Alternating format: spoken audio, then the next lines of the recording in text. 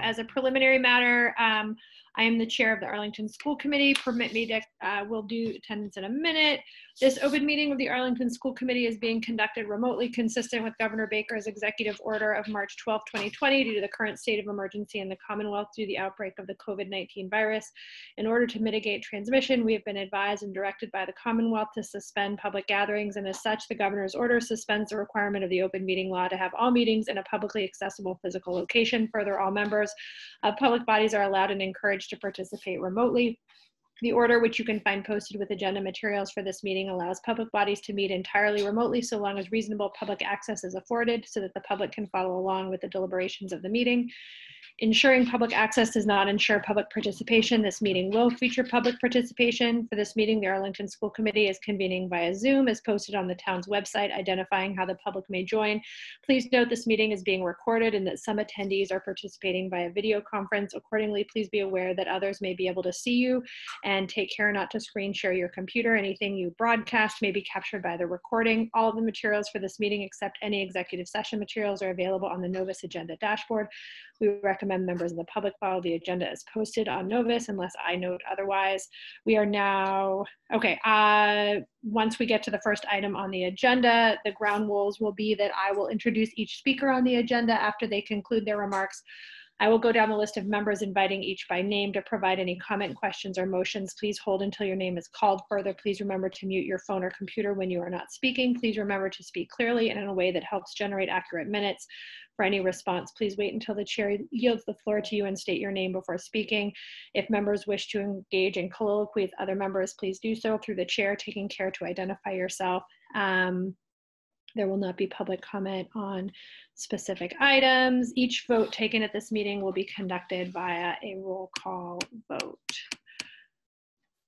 So let's come back over here. And, oh, look, you can't see me. Huh, sorry, guys.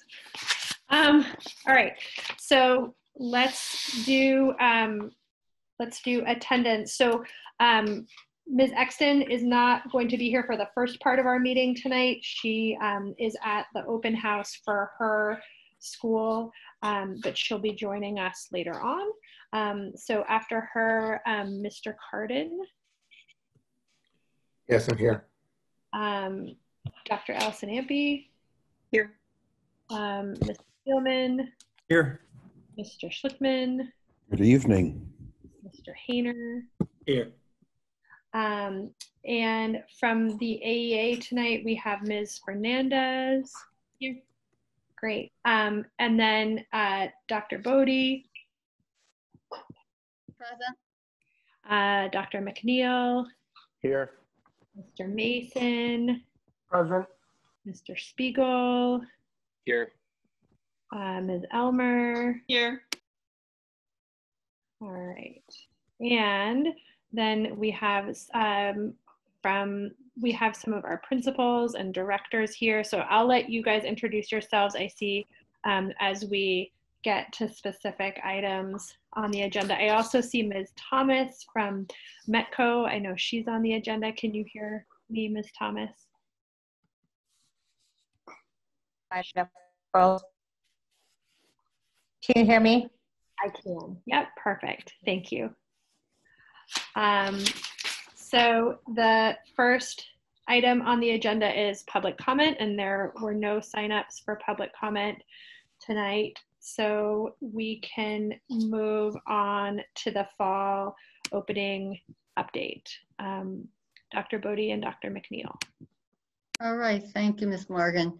Uh, This evening, we have um, many of our uh, principals here who are going to talk to what's been going well and what are some of the concerns as we have uh, been implementing both the hybrid program and the remote academy.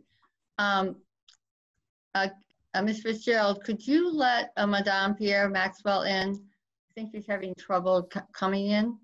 She's Um, in. You. Oh, She's in, okay. Uh, For the same reason, for the same reason Ms. Exton uh, needs to be late, uh, uh, Madame also needs to leave by seven. So I'm going to ask her if she would begin, and then we'll go to the elementary uh, Ottoson and the high school in terms of reports about uh, the, uh, the programs to date. Thank you, Dr. Bodie. Uh, good evening, everyone. Uh, I am Madame Pierre Maxwell, the principal of the Gibbs School, and uh, I'm here to report we had a very bi- nice beginning with the students. Um, the students were excited to start school, and we were extremely happy to have them returning to the building, and uh, things went really smoothly with uh, organizing the children, teaching them the new expectations. I think one of our biggest worries were how well were they gonna do with the mask on, and this has really been lovely. Uh, just about all of the kids are quite adjusted to wearing the mask.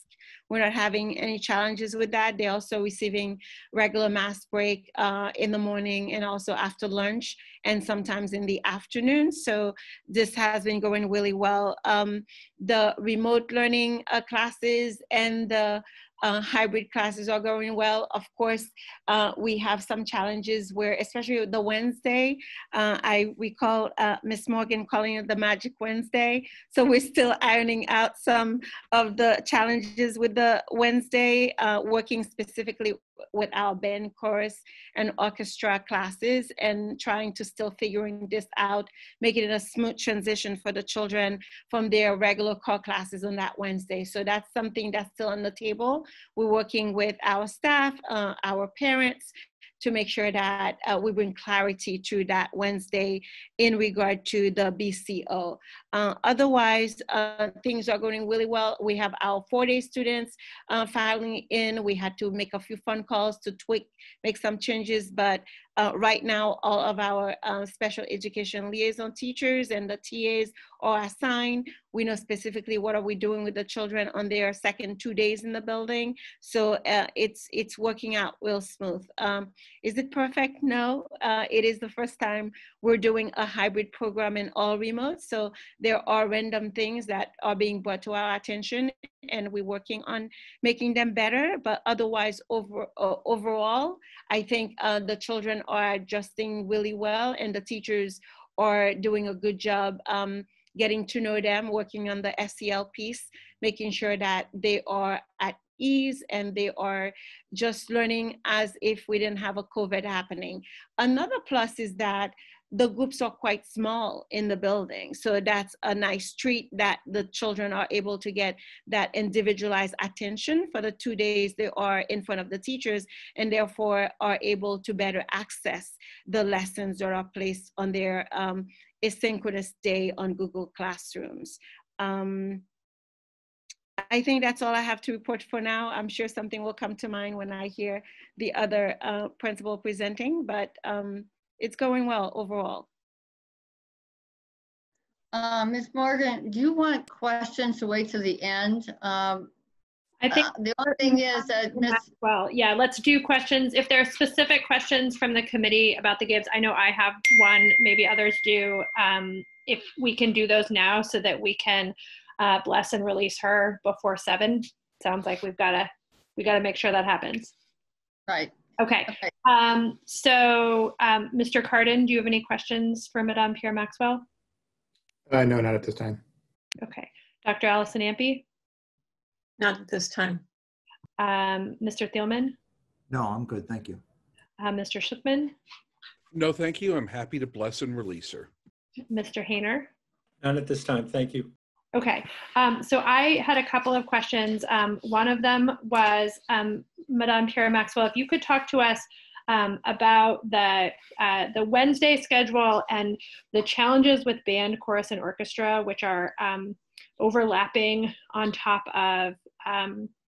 So for those who don't know, I have two. I have twins at the Gibbs um, who are both in band, and the way that our Wednesdays work at our house is that um, during first and second period, my oboist is in band, and uh, my non-oboist is goes to uh, I don't know what he goes to, uh, like ancient civ and science or something, um, and then they switch, and the trumpeter goes to band, and he misses math and something else.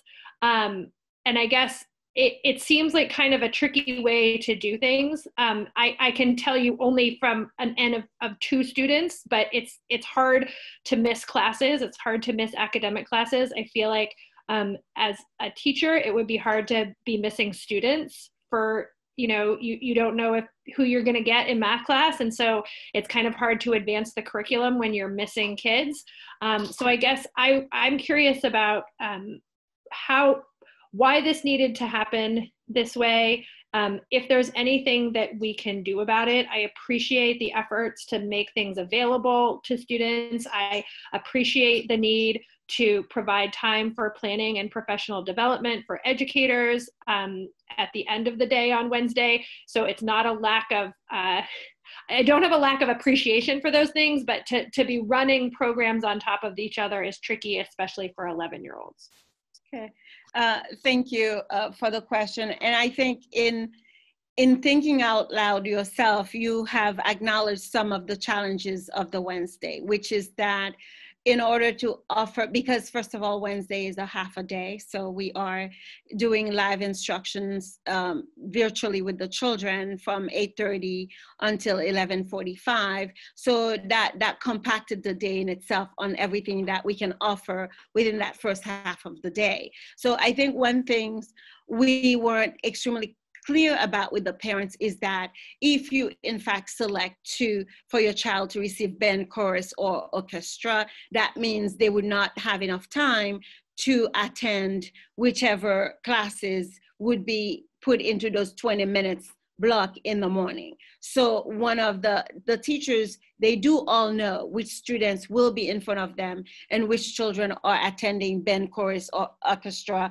whether it's first, second, or third block, because this is the, the three block of the morning. So if you are in those classes, they, they run for 50 minutes, and therefore within that 15 minutes, there's about 225 minutes class, including transition. So on Wednesday morning, although we still have teachers who are teaching math, science, ancient civ, and um, English language arts happening in the morning, they are not introducing anything new to the children. This is why when we presented that schedule the very first time, we call it the, it was called the WIN block, which is what I need, or the MTSS, which is the multi-tiered system of support, meaning that we would not introduce anything new during that time for the fact that we know the teachers do not have all the children in front of them by their homeroom. And also this is the time where some of our kiddos who need extra intervention in math or in reading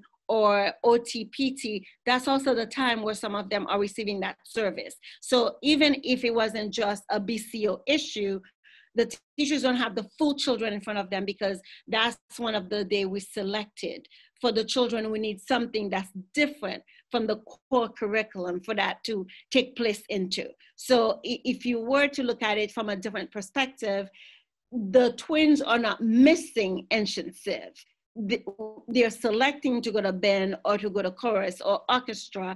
And then so whatever it is that's happening in that 20 minutes in ancient civ in the morning will be posted in the afternoon. And it's something they can facilitate. It's something that's probably a review of something they've already seen or something that's not essential to what they should learn and know as part of the ancient civ curriculum. I don't know if that helps. So we're in conversation right now to figure out, is it possible to offer Ben chorus or orchestra in the afternoon? This way, the children would not miss anything at all, even if that subject they're missing is not at the core of what they need to know, or it's not something new, but they're not missing it at all. So if we can move BCO after school in the afternoon, uh, that's something we need to go back and perhaps have a conversation with the parents so they can be clear that that's the choice you're making and are you available to do so. So that's something we are considering, exploring. It's not a done deal yet. So, but the teachers understand in the meantime, until we figure it out, they would not introduce anything new in that Wednesday morning. And whatever it is that they do, it's something they will post in our uh, Google Classroom so the children can have access to it. Great. No, I mean, I under I understand it's challenging. It just sounds, um, I yeah, I from from our perspective as from my perspective as a as a parent of kids who are doing this and thinking about the student the teacher experience of you're teaching for 25 minutes and you got to get this thing up in the google classroom for the like who knows who you know the kids who weren't there and then you're managing the questions about that and um, it it feels you know it it just feels like a lot. So I'm glad to know that this is something that you guys acknowledge is is not ideal, um, and that um, you know you're looking you're looking into it. You know I can tell you my daughter is at the Ottoson. She has orchestra on her remote days. Obviously that's the best scenario um, i can understand if if giving staffing and you know we only have so many people who can teach these courses um, that may not be possible at the gibbs um, but it does you know it does work really well because it gives her something to do on the days when you know when she's at home on her hybrid days. So i'm glad that you're talking about it. Um, it you know it's definitely a tricky piece and i think it's really hard especially with sixth graders who are 11 years old and they're really trying to diligently follow along with these new classes. They're not used to changing classes and then to all of a sudden miss two or one and um, it can be it just is it's kind of jarring. So I, I appreciate that it's something you're working on. Dr allison Ampe Thank you. I was just going to point out that there has been a history of Ottoson doing band and orchestra at the end of the day going into after school. So it, it has been done before, um, like seven, eight years ago at least. Um, but, it, but it has been done that way. And, and for the same reasons, it was, you know, just a mess to get it scheduled in and have everyone be able to attend. So Thank you. Jane, I have, a- sorry go ahead mr thielman um, um, my question is, on, on Wednesdays, how long, how, how much time does it take to clean the building? I know that's a cleaning day and the building's being cleaned. How many, um, do you have any sense of how many people are cleaning it and how long it takes them to do it? We have three custodians, uh, and I have not timed them to see what time they begin, what time they end, but I suppose perhaps a bit faster because most of the classrooms don't have teachers in them. They're able to move a little quicker. Yeah.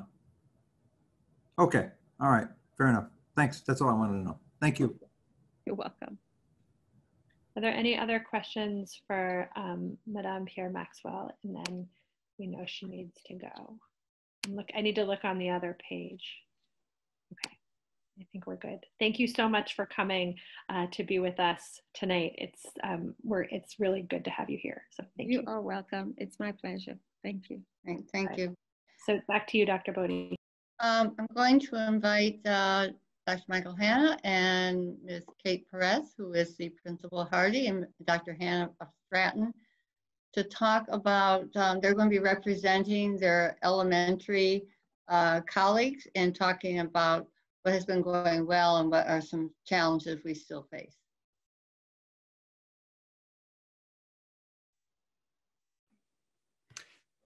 Kate, uh, we gonna go first? I'm sorry if I forgot that. Sorry, no, I thought you were going to go first, Dr. All right, fair enough. That I will. uh, I just wanted to uh, first uh, give recognition and and really um, some uh, unfiltered praise to all of the the faculty and staff um, of all of our elementary schools. Um, their flexibility and professionalism and commitment uh, in the opening of the school year uh, is just really um, kind of took my breath away at different moments. Some of the things that they did with a smile on their face. Um, it was obviously all in the joy of being able to welcome children back. Um, I know that it's been a long time. Um, and so uh, I just want to recognize uh, on behalf of all my elementary colleagues uh, how, how pleased we were to be starting again, and especially on site. Uh, the on-site uh, programming launch uh, had just enormous challenges and variables that we never thought of. Um, and we have quite simply launched really well on site. Um, there's uh, uh, complications, as you all are really well aware of. Um, I also want to give recognition uh, to our students, to our to our children, the grades K through five. Um, not sure if any of them are watching tonight necessarily, but uh, maybe they can have it passed along to them um, by their parents. How proud we are of them and how thoughtful they are in keeping one another safe and uh, still having a great school day every every day on site. And um, and I finally just want to thank our uh, and recognize our custodial staff, um, maintenance custodial staff, uh, who are also um, bending and and uh, not breaking uh, under the uh, stress and of this kind of new way of doing things, and, and we so appreciate uh, all of their energy and commitment. Uh, again, the the instructional programming has been uh, launched well. Um, we have gotten going in the schools quicker than I think we ever thought we would. I met, passed along an email to the Stratton families that frankly I was just looked around after the first week and was surprised at how how well the engine was running and and uh, uh, again was just so delighted to be working with all the people I work with. Um, we know that very well the, the places that we're still working uh, where we need to focus. Um, we've brought it up uh, here and in other contexts that uh, that really is the uh, remote side of the hybrid program. Um, and I just want to be a little bit more particular about that and talking to my, my principal friends this afternoon and, and also in, in uh, jumping into uh, classrooms that are in Google Classroom online on remote days. I think that what I'm hearing that, that families would like us to focus on is the uh, structure and schedule and kind of to-do lists for the children while they're in uh, that remote side of the hybrid program. Um, so we are, are putting a lot of energy into that. Um, we have an enormous uh, inventory now uh, building up of resources from uh, Dr. McNeil and the, the directors of curriculum, the instructional coaches. They are working so hard to be filling out the remote side of the hybrid program. And uh, we, well, our next step and hopefully final step would be to operationalize all of those um, uh, wonderful resources. And, and Dr. McNeil just shared with us a, um, an way to get our curriculum experts and teachers together to make that remote side of the hybrid program even more rich and mirror as close as possible uh, the days that we have on site. So we know that that is um, indeed our, our challenge and we're getting better every day. Um, but I just want to make it clear to families that we understand that the the most pressing petition is to have uh, um, a structure and something that that families can easily understand as the the uh, um, the game plan for each day that the children are at home. Um, so uh, with that, I'll let uh, Ms. Peretz talk a bit um, about other things that are happening at our elementary launch. Absolutely, and I, I echo everything that Dr. Hanna just said, and you know, I, I, I wish that what we could do is have more uh, visitors in our school. Of course, we can't do that so that you could see on site, like Dr. Hanna is talking about, just how um, easily it seemed that everyone fell into these new routines. I think that that we were worried about the things like the mask wearing and the distancing and the the management of the people within the facility, but it has not been the, the stress and the strain that we thought it might be. People have been very supportive, and I think um, all of the work that families did at home to help their children to be ready to come into that environment um, really helped a great deal. So thank you for that as well. Um, there certainly have been some things that have been uh, bumps along the way that we're working our way through. I think um, we knew that there would be challenges for sure. And I think there have been some specific pieces of our plan for technology um, that have uh, been difficult, but our technology department, our tech people, and our digital learning people have been working just round the clock so hard, and the teachers themselves too, helping to support the students. And I think the families also just really trying to lend their expertise to make the technology piece of this work um, Zoom was something that we were a little bit nervous about, you know, bringing in for for many reasons, but then it has gone very smoothly, and that's great. Um, and then other platforms that we are looking at, different tools that we think will eventually um, help us to do our work um, more effortlessly, have given us some some struggle. Um, there's um, a tool called uh, Seesaw that's especially um, should be especially well received by um, students and families in the younger grades when it is working appropriately. Um, it wasn't working quite well with Clever, which is something else that was meant to be an organizational tool for all of our uh, various learning platforms. And so, but I think that it, we're getting very close to making that all come together in a way that is um, functioning in the way it should be. I was able to see a fifth grade classroom use the Clever um, to organize all the different tools and the children, um, when it was up and going for them, it really was um, very, very helpful. And I think it will help to streamline the process um, quite a bit for everyone. So that's great. And we also, we um, distributed many, many, many devices. Uh, the new iPads for the kindergarten through second grade, um, the Chromebooks for um, the older students. And I think that's really helping us a great deal to make sure everybody has access to um, the learning that is, that is going on.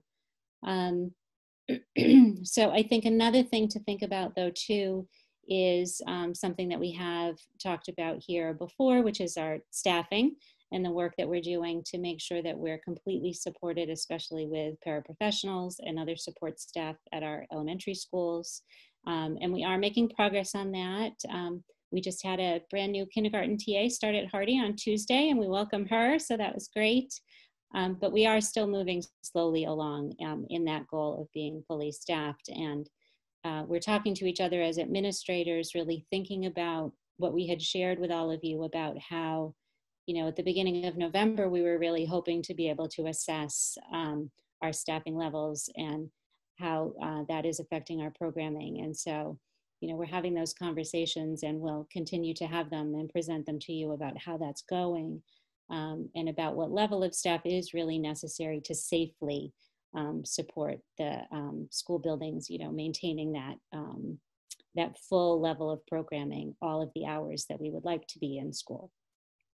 Um, so those are a few things that we're thinking about, but also from the, um, the other in the success column, just to end, we had our first PTO meeting at Hardy last night and it was a great event on Zoom but a lot of people are able to participate. And I think the enthusiasm for the school year is definitely there, which is nice, even though it is difficult and it is different at times. And I think we worry about our communities um, not staying connected um, and maintaining, you know, that re the remote academy and the children who were in person and all of the teachers involved. And I think that the desire to maintain that strong community is definitely there.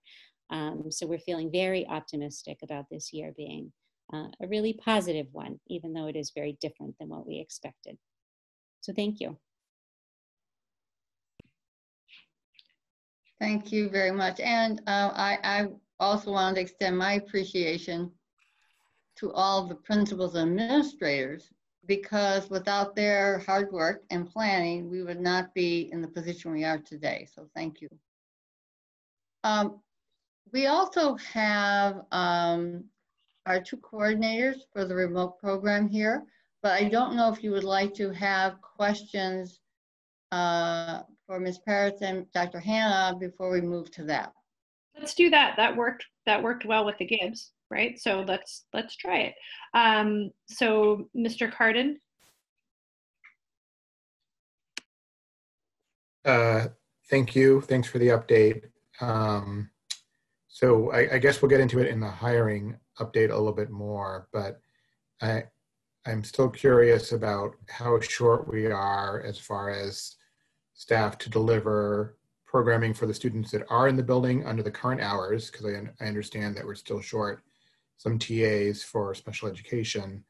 Um, and then how are we anywhere on the map at all to adding back that 45 minutes for, for the school day? I don't know I, if we want to table that for the personnel update or, or discuss that now. Ms. Morgan, can I speak? Yeah, please. Um, we uh, just this afternoon we made a commitment, the elementary principal team, to uh, get together early next week to uh, make a, sort of a, a sketch of what that tipping point would be. Um, uh, we, we we have to uh, sort of take a look. There, there was a lot of shifting that still went on even as we began the year. Um, so we feel like as we're onboarding people, uh, we're now in a position where we can actually talk about that and, and talk about uh, what what uh, kind of personnel we would need, and even maybe even think innovatively about um, uh, uh, paraprofessionals being hired in both uh, the um, the on-site programming and for off-site programming, and just getting creative, maybe even off-site programming for another school with with on-site programming for one school. Obviously, we don't want to do on-site for two schools, but um, we're, we're going to open all of that up and and try to articulate where we feel like once we get to it, it'd be a benchmark for us to to move to a full school day. Great, thank you. And my other question is, um, if we've talked with other towns about, you know, almost all almost all of the towns that are open and hybrid have the same basic schedule that we do, except for Lexington. So, what what are they doing? You know, and, and I know some are, are very similar to us. It's asynchronous mostly, but how are they structuring those remote days? Uh, perhaps in a manner, things that we can perhaps have we talked with them to see if there's anything we can learn from them, and they might be doing differently or or better. Yeah, and that, and that's a very good question, and it's something that we do have conversations about with um, our colleagues in other districts, um, quite a lot actually. And I think, uh, from my perspective, I feel that um, in Arlington we're actually trying to do even more than some of our colleagues in other districts are doing, and trying to maintain at least some connection with a teacher in that live environment um, and and that's part of um, our commitment to that is really trying to maintain that. Um, and so but that's hard. Uh, you know i know that there are a lot of districts where it really is completely that the students are just following along with the schedule on those days and there aren't the uh, the specials like art and music and pe there aren't the live morning check-ins um, and those um, commitments to trying to have as we go through the year some service that might be happening for students who who require that with a person uh, and not have it all be recorded so i think we've created a challenge for ourselves but it's a really it's a good challenge it's an important challenge and we want to keep working towards that um, uh, dr Hanna i don't know if you want to add anything to that yeah, yeah. I actually, I, I, um, I know I mentioned this in another context. We were able to uh, um, connect with a um, an undergraduate school of education to uh, onboard 19 undergrad uh, pre-practicum students to help out and be um, uh, just remote because they're undergrad students. They're not going to be able to leave campus, but they're in three days a week um, in the remote setting uh, to uh, connect with students and lead small groups. And so it's, it's that kind of commitment that we have to, as much as possible, um, get the kind of programming offsite that we have on site. And as Kate said, I, I, you know, I've got a lot of different connections around the state in a lot of different contexts, and that that is rare. It is rare to be aiming for that because it's a it's a little bit elusive, if not impossible. But um, you know, our fantastic faculties are up for it and really want to do it and are really sweating it and will continue to do so, I'm sure. I, I would add one comment. I've actually had um, questions from other districts asking how we're able to do what we're doing. So actually, I think what we're seeing is actually many districts looking to Arlington for how to program those remote days. Great, thank you. Dr. Allison Ampe? Mr. Kardon asked one of my questions. Um, so I've just have the smaller one. I hear still of some families who are realizing they need either iPads or Chromebooks, and I'm wondering. I know we've had pickup days and everything, but where where should we send them if we see someone who's in that position? Yes, to us, to the principals, for sure because we still we continue to connect people um, so just because distribution days have passed does not mean that that you're out of luck like just connect with us and let us help you and if you're having trouble with devices that you picked up or that you have already at home just let us know because we want to support you in making that work great thank you very much Mr. Thielman?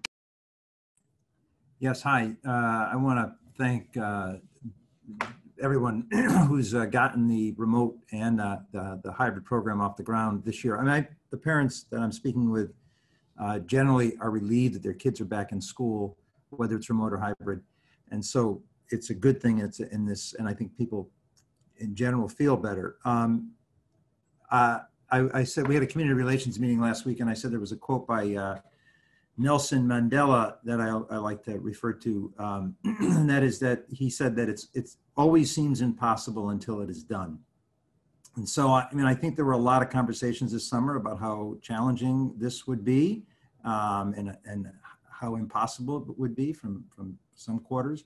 But you know, I think it's not done yet. I know it's not done yet, but I do think there's a, there's a lot of good feelings uh, on the part of people um, in the community because you, you've kind of you know you're we're teaching, we're learning, kids are advancing uh, the, in the curriculum. So on behalf of lots of parents in the community, I just want to thank you um, and thank all the staff for their hard work. Um, but you know the general the general concern that seems to come up um, in conversations with people has not been measured by any data, not been uh, examined or, or, there's no data to, to, support anything at this point.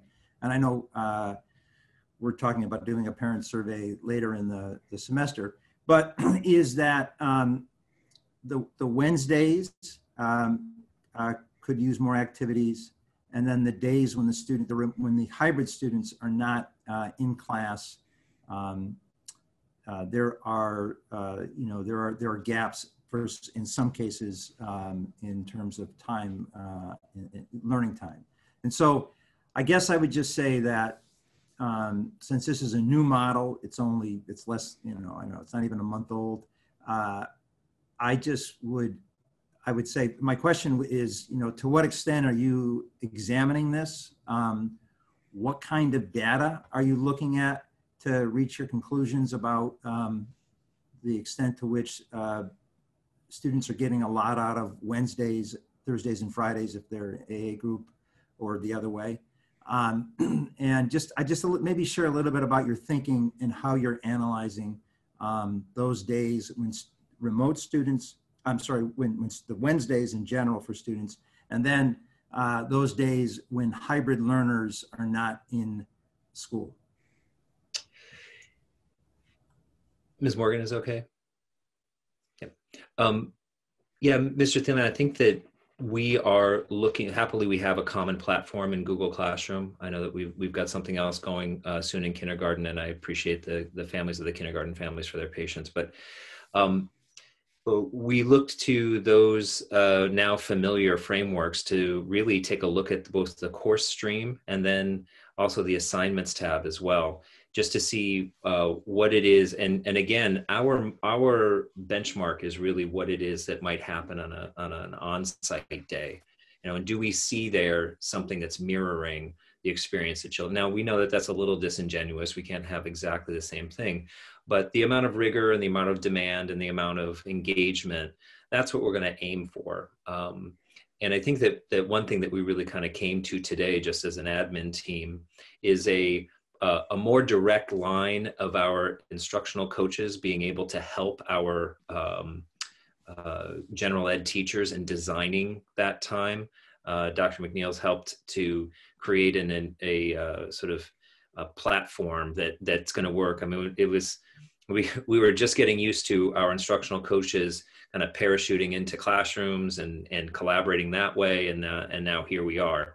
So I think that with the help of the coaches to really take all of the curriculum resources and say okay now this is this is how you make it into a rich couple of days um, for the students. I think that we're really going to um, improve programming as the year goes on. Um, but just just know that it's clear to all of us that that's the the uh, point of focus uh, for for improvement going forward for sure. Mm-hmm. and i think just to add to that too you know these these different digital tools that we've been um, not that we've been developing, but that we've been introducing, um, I think that as those become things that the children are really engaging with and understanding how to use a little bit better, and then also families at home too. So we had received the feedback from people, which I think is is great feedback that families would like to have a little bit more. Um, you know pd of their own on this kind of work and so understanding like how do i use this what is the purpose of this um, as far as the digital tools is concerned is something that's being developed now and will be coming out to families and, and introduced to families soon too. But I think also that's also been the same um, for all the rest of our curriculum too, and that that's something that families have asked over time is really help us to understand like what is the objective of this work digital or non-digital? What where are we going with this? And that that will help us to be able to support students too. So you know really being those teams um, that are working together to support the kids i think it really is all going to start to to click more into place. I'm going to ask a hypothetical question always dangerous. Um, but let's assume that you know we could work out uh, that, that everything is, is good from a safety perspective and a health, health and safety perspective. And um, somehow we can work out any issues about distancing. Would you, would you ever envision, would you ever, would you ever recommend to Dr. Bodie, um, this is to Dr. Hanna and Dr. Dr. Peretz, um, if you would ever recommend um, bringing back, say, um, all K1 and K, you know, K1 students, or say you know, kindergarten, first grade, maybe even second grade, would you ever kind of bring, would you ever make a recommendation or kind of think, or, or is there a task force that is thinking about, can we bring back all of the kids, those who want to do remote, continue remote, but all the kids who want to be in person at some point this school year, those grades, K1 and 2. Is that, is that ever, like, is, have you talking about that? What do you think about that? It's too early in the year to make the recommendation to the superintendent, would you ever do that? Well, it, it, it's interesting um, because those hypotheticals are things that we talk about all the time, all the time. And it has always been um, our goal, honestly, to, to have as many students in the building as we can. Um, and I think that, um, you know, we've created a plan that is really dedicated to meeting the needs of our students um, throughout this time of, of crisis, honestly. And I'm so incredibly proud of what we've done together. So, uh, all of us as a community, home and in school. And I think that that, but that's what we want. Like, we want kids back in school. I mean, this is going well and and we can work through our problems, but we really do want them to be back in school. So I think as soon as we are able to do that safely, obviously safety comes first, we're going to want to do that and some kind of phased approach may be what we do. And maybe the younger kids are the kids that need to come back to school sooner but it's definitely too soon to actually entertain that kind of conversation right now. I, yeah i know. I, I just want to know your thinking that's all. But yes if you could be a fly on the wall of our conversations i mean that that we look at this from every angle and and you know look ahead as much as we can. Um, but that's been one of those um, tricky parts is that you just really can't anticipate um, what's going to happen. So, but I've been thinking a lot about flies lately since last night. I know, right? I just thought that too. and thank you for calling me Dr. Peretz, but I'm not quite the doctor yet. Maybe we can soon. just make that happen by vote here, I guess. thank you. Okay. All right, thanks. That's all my questions. Appreciate your time. Uh, Mr. Schlichtman. Yeah, thank you. And I, I, I like uh, Mr. Thielman's idea of enabling us to confer doctorates. I, I, I think that we're just uh, an outstanding institution. That'd be kind of fun. Uh, my question really is sort of the flip side to what Mr. Thielman asked, because one of the biggest concerns I had was in terms of the quality of kindergarten, in that what we need to do for safety and distancing is contrary to a lot of the, the things that I'm used to seeing in a really well run kindergarten class. So, can you describe to me how things are working in the context of kindergarten and if any of the theoretical discussions of bringing more kids in more often also included maybe doing half day rather than full day? Yeah, uh, Mr. Skuma, I'm, I'm so, so glad you asked that. We always have a particular care and concern for our youngest learners. Um, and you're quite right that that our uh, five-year-olds, our kindergartners, typically um, are very much interested in being in each other's company, uh, very physically close to one another. Um, that's just part of their developmental path. Is that that they are, as we know from our programming commitments and tools of the mind, that the children co-regulate one another and are in close proximity to do that. Um, as we laid out the kindergarten classrooms and pulled those trapezoid tables apart from one another, uh, we really were in some ways uh, doing the exact opposite of what uh, the tools program and responsive classroom would have us do. Um, having said that, another part of that developmental stage is uh, really interested in uh, following rules and really interested in helping their friends follow rules. Um, so in many ways, honestly, um, you want to have a kindergarten classroom uh, writ large in the in the society as far as uh, mask rules and staying apart from one another.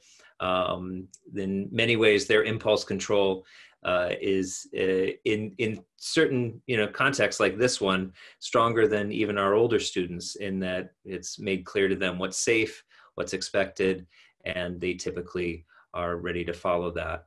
Um, but I have to say, in watching the essential programming happening, most notably early literacy and early reading teaching going on live, um, I am so happy that those children are there to be receiving those first stages of phonological awareness and phonics um, from our teachers. And and uh, I know that we're doing a just a dynamite job. I met with uh, the Stratton remote kindergarten teacher today, talking about how we can make that happen via the screen as well. Um, just a lot of commitment from everybody, most notably the the five year olds themselves, uh, in making those classrooms run well.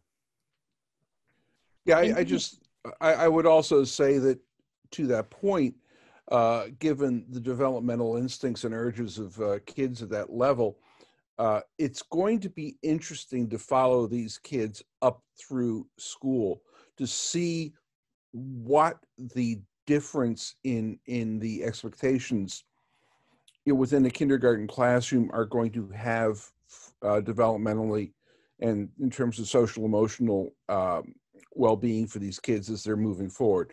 Uh, obviously, we are where we are because of the uh, pandemic, and we can't change that reality that we're un- operating under. But it's it, there's going to be a lot of good research coming out of that. But uh, thank you for your thoughtful response, uh, Ms. Uh, uh, Peretz. I'm sorry, I think I stepped on you as well.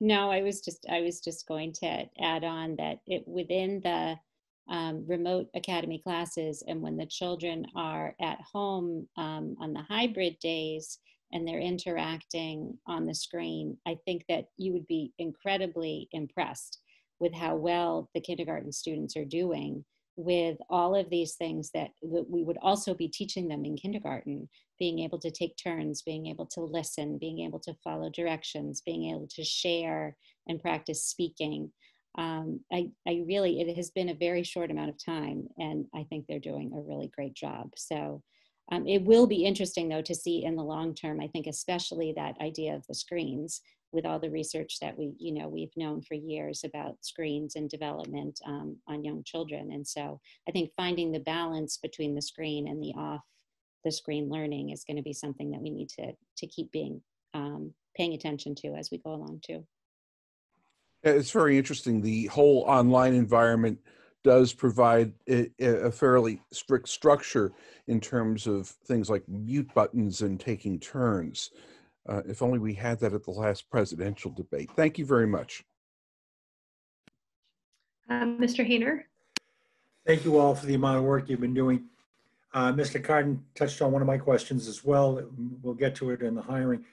Could uh, either one of you or both of you speak to that 45 minute block, what your expectation as a principal is for the teacher to be providing for the students and what the teacher and or you are expecting the students to be providing during that time?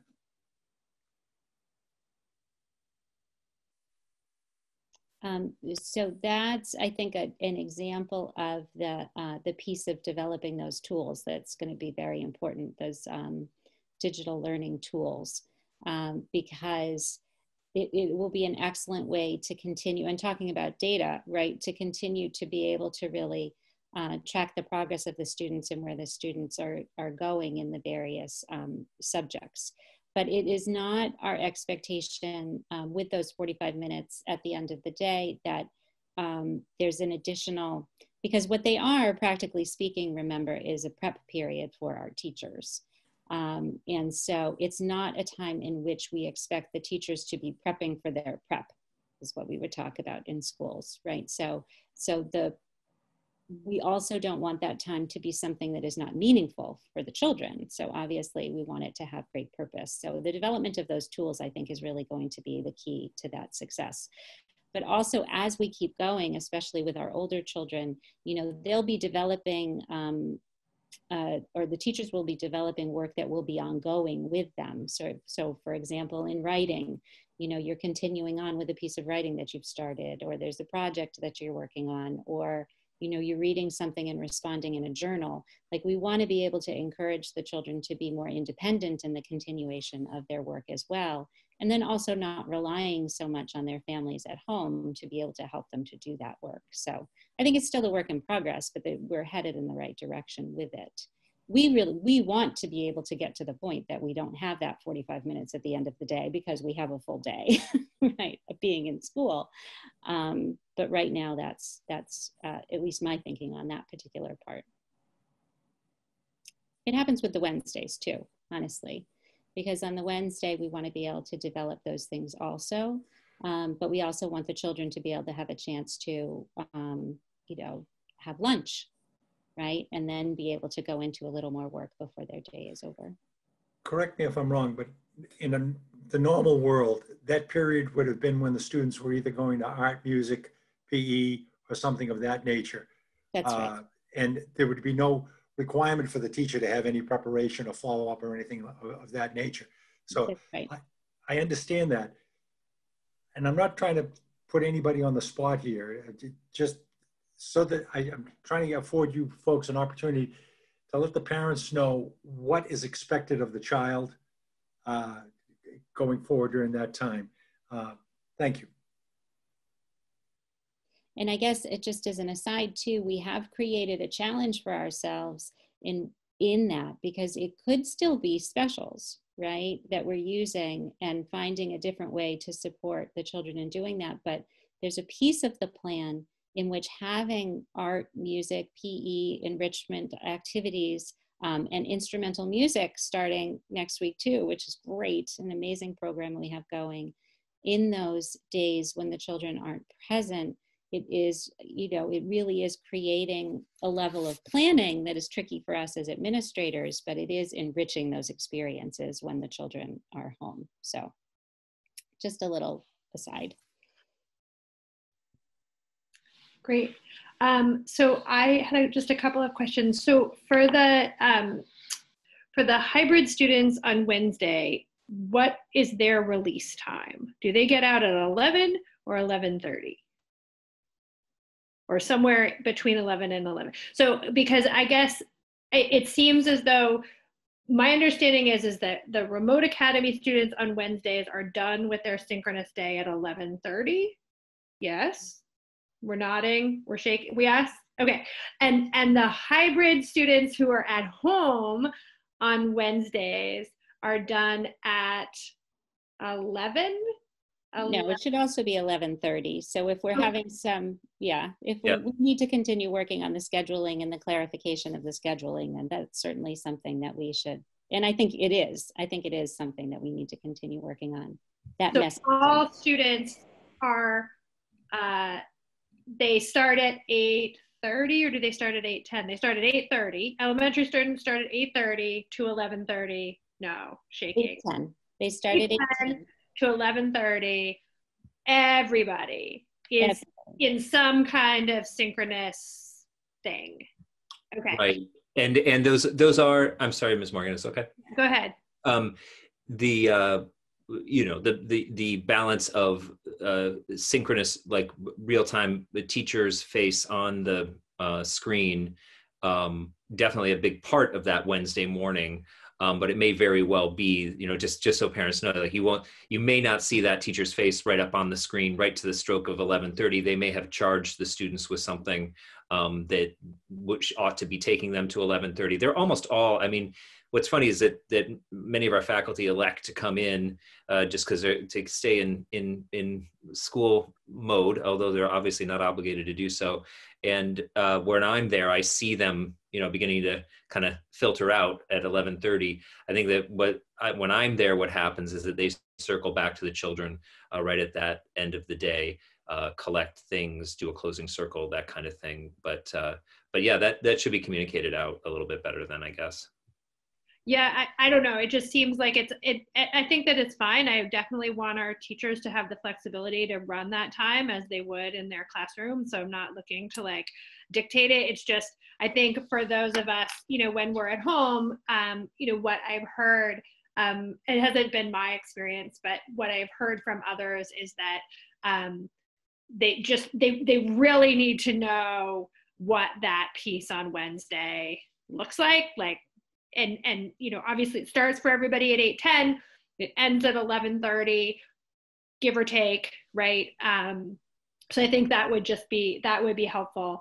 Um and and also just in terms of talking with families about you know what learning time looks like it's interesting. We've started to get more emails about that. People have are like they they're they're like now keyed into this wait wait like what's the actual learning time? Like when when are we doing this? And how are we meeting our our obligation on that? So um that's you know we we have a, an extraordinarily uh, engaged and um, capable parent community in Arlington that we're very lucky to have. And I think that um, they're, you know, they're seeing a lot, they're seeing a lot of this because a lot of it's happening in their homes.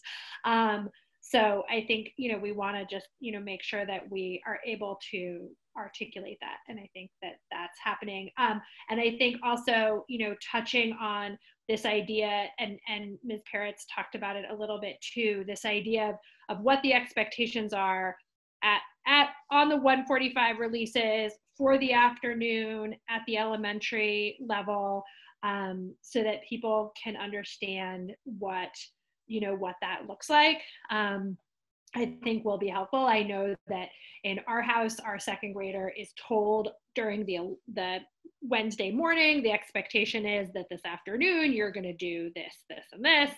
Um, so you know, I mean, at least he's been told, um, which is great. So I think we want to just keep, you know, keep working on that. And I think that's something I assume that we're going to have some kind of back to school night remotely of some persuasion somehow.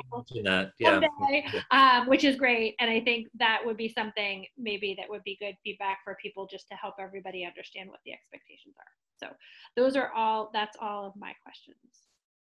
Anybody else? We good? Uh, Thank you very much. And um, uh, Sam Carustis and Eva Leiner are both here tonight to talk about the elementary remote um, academy program. Hi, good evening. I'm Eva Leiner, one of the two administrators of the Remote Academy. And thank you so much for having us on tonight to talk about how the start of the school year has been. So Sam and I have been very pleased with the start of the school year. Um, we're very proud of how invested the Remote Academy staff has been in getting to know students and delivering quality instruction, even within the challenges that they face being a remote teacher.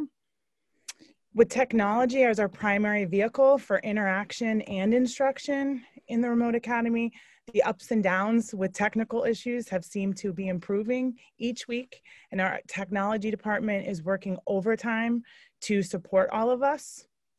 We've seen improvements with access to and use of the digital tools that have been provided for us by the district. And students are becoming more familiar and independent with the technology. With that said, age and grade level differ, obviously, in their ability to be fully independent as we would expect. Um, from the feedback that we've got via emails from many families, um, students are engaged, happy to go to class, and are ready, are, are getting into the routines of being a remote student. So families recognize and appreciate the hard work that teachers have put into delivering remote instruction. And also teachers have reported that families have been so supportive of their efforts. And families themselves have been doing a really nice job of helping their students be a remote learner. So overall, in the three weeks since we opened the Remote Academy, things have run very smoothly, given the fact that we essentially opened a brand new school with 875 students in 40 different classes in a remote environment. So we're actively working on smoothing out any of the inevitable kinks that have arisen in the opening of the Remote Academy. So Sam is going to speak a little more about some of the challenges that we're facing. So thank you for having us tonight. I'm Samantha Karestas, the other co-administrator. And as you can imagine, with this large school made up of people from seven other schools. We've had issues around communication and coordination.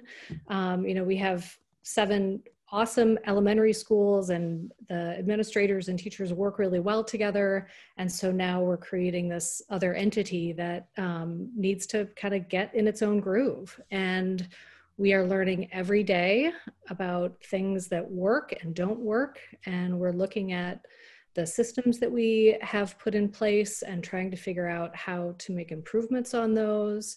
Um, as you can imagine, it's challenging to bring cohesion um, to the eighth elementary school when it's comprised of the others. Um, but we are learning every day. We're taking a lot of feedback from not only staff and family, um, but we're talking to our colleagues about how we can continuously improve those systems. Um, another issue that we have taken on is distributing materials to the 870 plus children.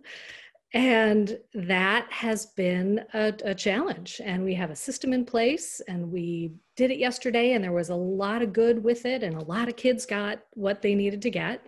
Um, and it may not be the most efficient system. So we have to, again, look at feedback from families and from teachers and coaches who all worked really hard to get this system in place.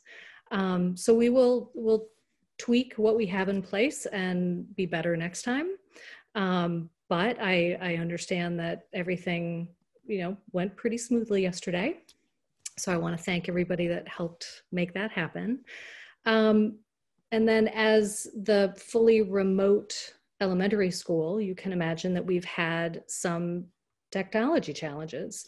Um, I will say that the children have been helping figure some of that out. They've helped their teachers, which has been wonderful. Um, but I just have to commend our IT department. They have been incredibly responsive to our needs and um, whether it's via a phone call or a text or an email, they've been right there to help us. And I know that they, you know, that's been challenging because they're trying to service everybody in the district. Um, so we are continuing to make improvements on some of the challenges that the families and the kids are having. And um, I, I feel really positive about the just the confidence that the kids are building and that the teachers are building um, and how much support um, you know susan bisson and the other it folks and digital learning people have given um, everybody in the community. So you know we've started this new school and it's it's we're in our third week and i would say that um, i'm incredibly proud of the teachers and their hard work and the, the rest of the staff, the children, and the families. So, you know, we, we have a lot to celebrate.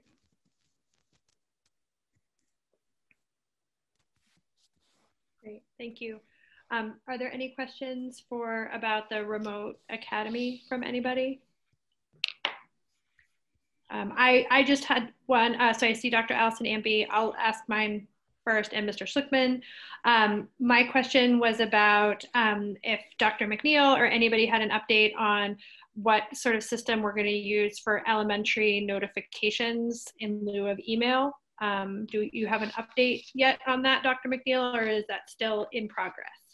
It's still in progress. Um, I'm having conversations with Dr. Bodie and our uh, doc, I mean, uh, David Good, who is our uh, the head of our technology department for the town and for the school, and uh, so yes, so we're it's it's a we're going to have those conversations.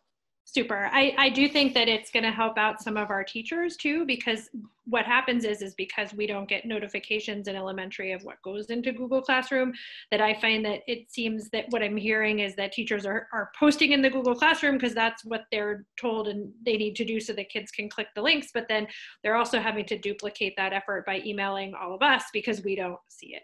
Um, so anyway, the sooner we can get some resolution or some progress and momentum on that, um, I'm I'm certainly looking forward to it. So, uh, Absolutely. yeah, Mr. Schlichtman. Uh, thank you very much. I mean, there there have been two questions regarding remote learning uh, that that people have had, and, and I'd like uh, the folks to sort of uh, talk about this a little. Uh, one was addressing the uh, quality of instruction that would occur under remote learning, given that uh, uh, we were experiencing difficulty getting up and running at the onset of the epidemic. And second is how are we providing for social emotional learning within the context of the remote learning uh, environment?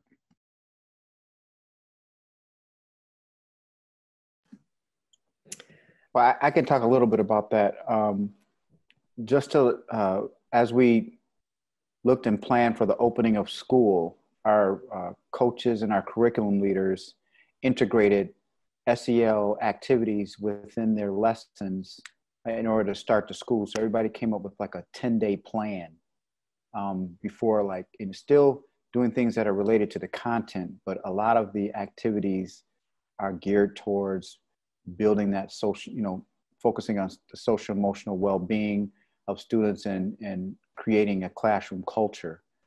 Um, so, you know, a lot of that has been taking place. Uh, we're at the point now we're going to start, you know, diving into the, like I said before, we're still doing, you know, content, uh, but you know, having the SEL integrated in that, and then, you know, now we're, you know, getting into the units uh, in the various content areas so we have integrated those activities in order to create a classroom culture, still connected to the content, but you know, you know, leaning towards those you know social emotional um, competencies that we want students to have moving forward, like creating relationships. And I was able to actually look at some of the feedback that um, Eva and Sam uh, were able to garner from their the teachers in a remote by choice academy. And what i think is happening even though that students in certain classrooms may be from different buildings they're actually finding you know it very uh, beneficial that they're meeting new people uh, from other schools. So you know the relationships that are being cultivated now they will revisit later on when they all come together in the uh, at gibbs and onward right? So they get the gibbs and then until they graduate, they'll all be together because that's the way the structure of our middle school works and definitely our high school. So I think that, you know, I think we've done a very good job of creating those classroom cultures, addressing our SEL, um, the, the social emotional well-being of students, and it's not going to stop. We're still, you know, integrating those type of things into our content area lessons as well. So it's a lot of integration going on there.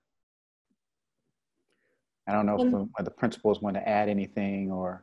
One um, thing that I would like to add just about um, addressing the quality of instruction, I think that the teachers have learned a lot from uh, last spring, their experiences, and they've had time over the summer to learn about the tools that they are using this year to deliver instruction. And now they have colleagues to work with and we're meeting with them in grade level teams so that they have an opportunity to talk and learn from one another and really share resources so they are sharing best practices with one another and developing some really dynamic lessons that they are uh, delivering in their Google classrooms and on uh, on Zoom lessons. So I think it's it's a very rich learning environment. Oh, let me just say that I've heard uh, from a couple of parents who are in the remote uh, academy, and they've been thrilled with the uh, instruction and the connections that they've been making within that context. So, uh, uh, job well done, it seems. Thank you. Dr. Allison Ampe? Thank you. Um, just to speak to Mr. Uh, to Dr. MacNeal's point, um, my daughter was at Thompson, I'm at Stratton when Thompson came and stayed there while Thompson was being rebuilt. And yes, those, you know, she made a lot of friends and they all had fun when they went to middle school together later. Um, so my question was, I'm wondering how things are going for special education students who are in the remote academy. Um, and is there anything that can be done to improve it, uh, to improve their experience?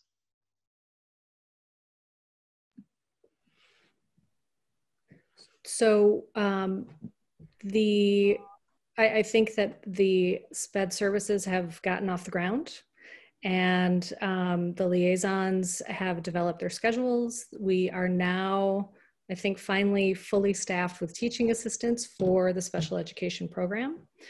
Um, so students should be receiving their services and um, I think that everything is in place now. So it should be going pretty smoothly.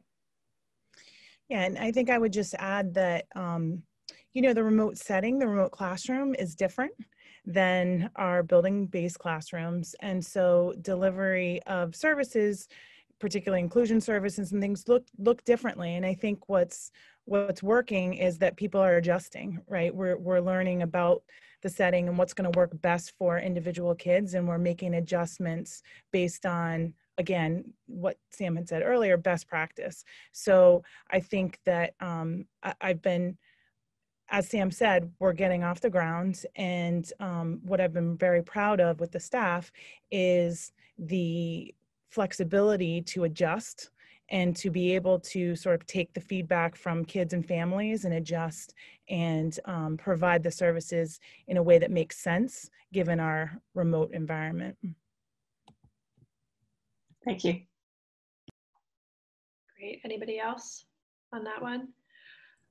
Mr. Thielman. Thank you. Um, thanks very much for the presentation.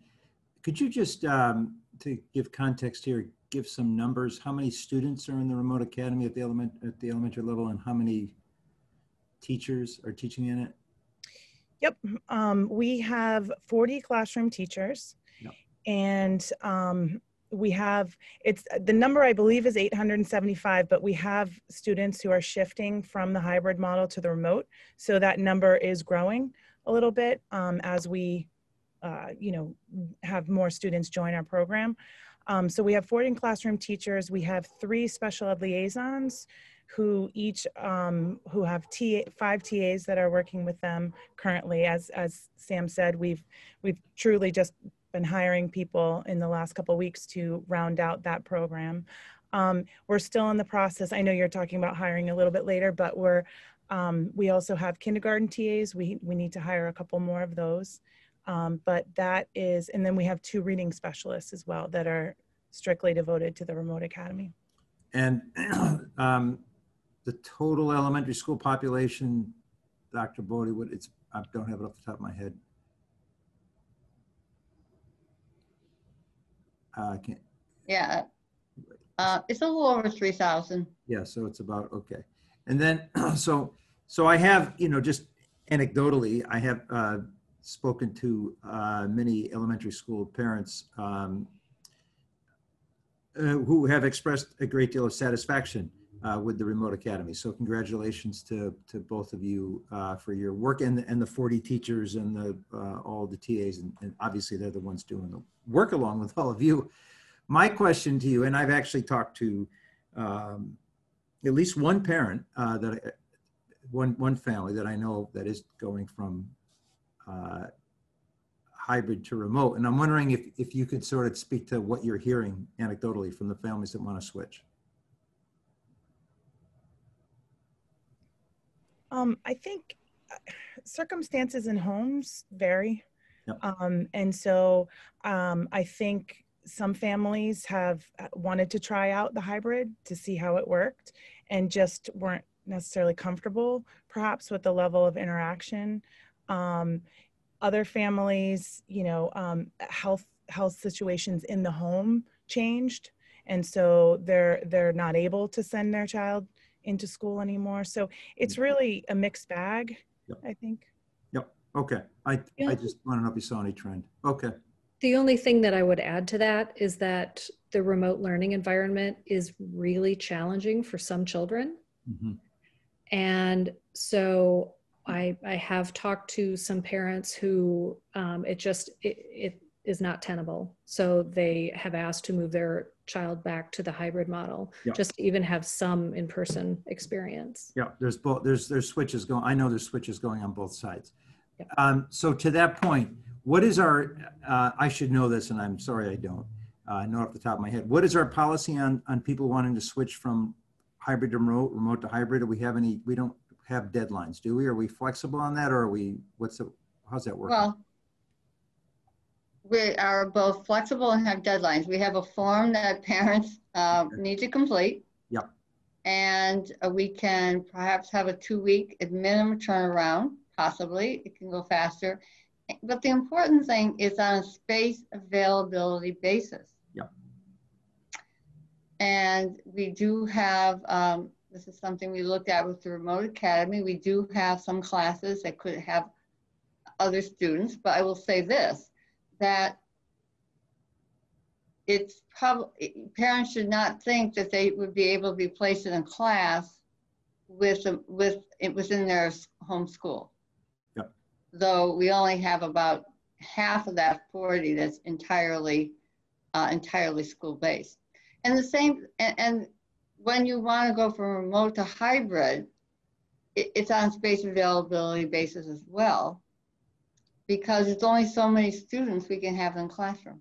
Yeah, thanks for clarifying that because people have asked that question. Um, and so, I mean, I would just, I, I think, you know, my observation of this is that it's just what um, Ms. Liner said is that it is, it's situational. Every household, every household in Arlington, every household probably across the country is a little bit different. The dynamic is a little bit different. For some families, remote works great just because of the, the setup, the support, um, all sorts of different, and, you know, obviously people have health uh, concerns that are real uh, important um, to consider. But um, so I, I, I think the answer that I'm finding in thinking about this is that every every family situation is different, and people are trying to figure out to, what to do what's best for their family.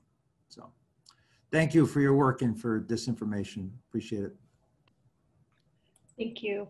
Um, so Dr. Bodie, what I'd like to do just because um, of, of timing and because of um, Ms. Thomas's schedule. So we've done a bunch of our, we've done our, um, we've done our elementary, um, we've done our elementary, we've done our, we did Gibbs, we did elementary, we did remote academy. We still um, have the Ottoson. And then is Ms. Tivan going to speak to the high school? Is that the plan? Yes. Okay. Um, but I'd, I'd, I'd like to just move um, the opening update for Metco up now so that Ms. Thomas can provide us with her information um, because of her schedule. So, um, and then come back to um, the Ottoson and the high school. So, thank hello. you. Thank you. Thank you for moving me up and um, I appreciate that. And thank you for letting me be here today to present. I did do a PowerPoint, which would probably go a little bit quicker. Um, so I don't know if I can share my screen. Um, I think you should be able to down at the bottom. Okay. Oh, yep, should all panelists. Okay. Thank you.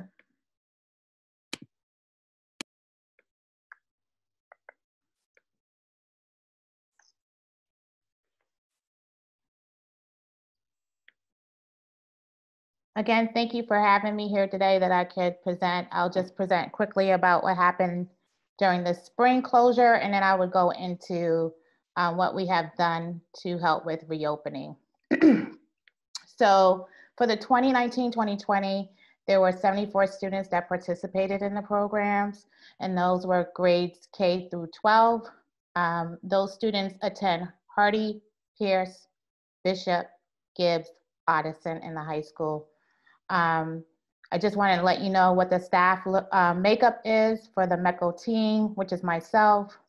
We have a social worker, Tanika Claiborne, that works with the elementary and middle school students.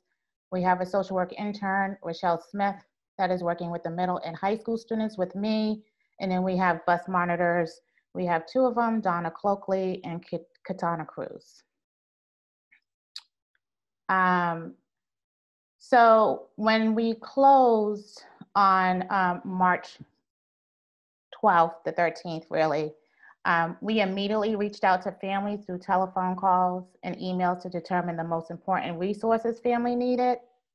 Um, at that time, also families were able to uh, receive Chromebooks when Arlington had their distribution dates. Um, for families that were not able to come out to Arlington, the team met families in Boston to provide them um, with the Chromebook they needed. Um, we also gave families information in regards to um, food that Boston Public Schools had 97 locations open to provide breakfast and lunch between the hours of 8.30 and 11.30. And the reason why our families here in Boston could participate in that because they were Boston residents. So that was also open to them and they did not have to be a Boston public school student. Um, then we had our social workers and myself. We did uh, student virtual social um, community lunch groups.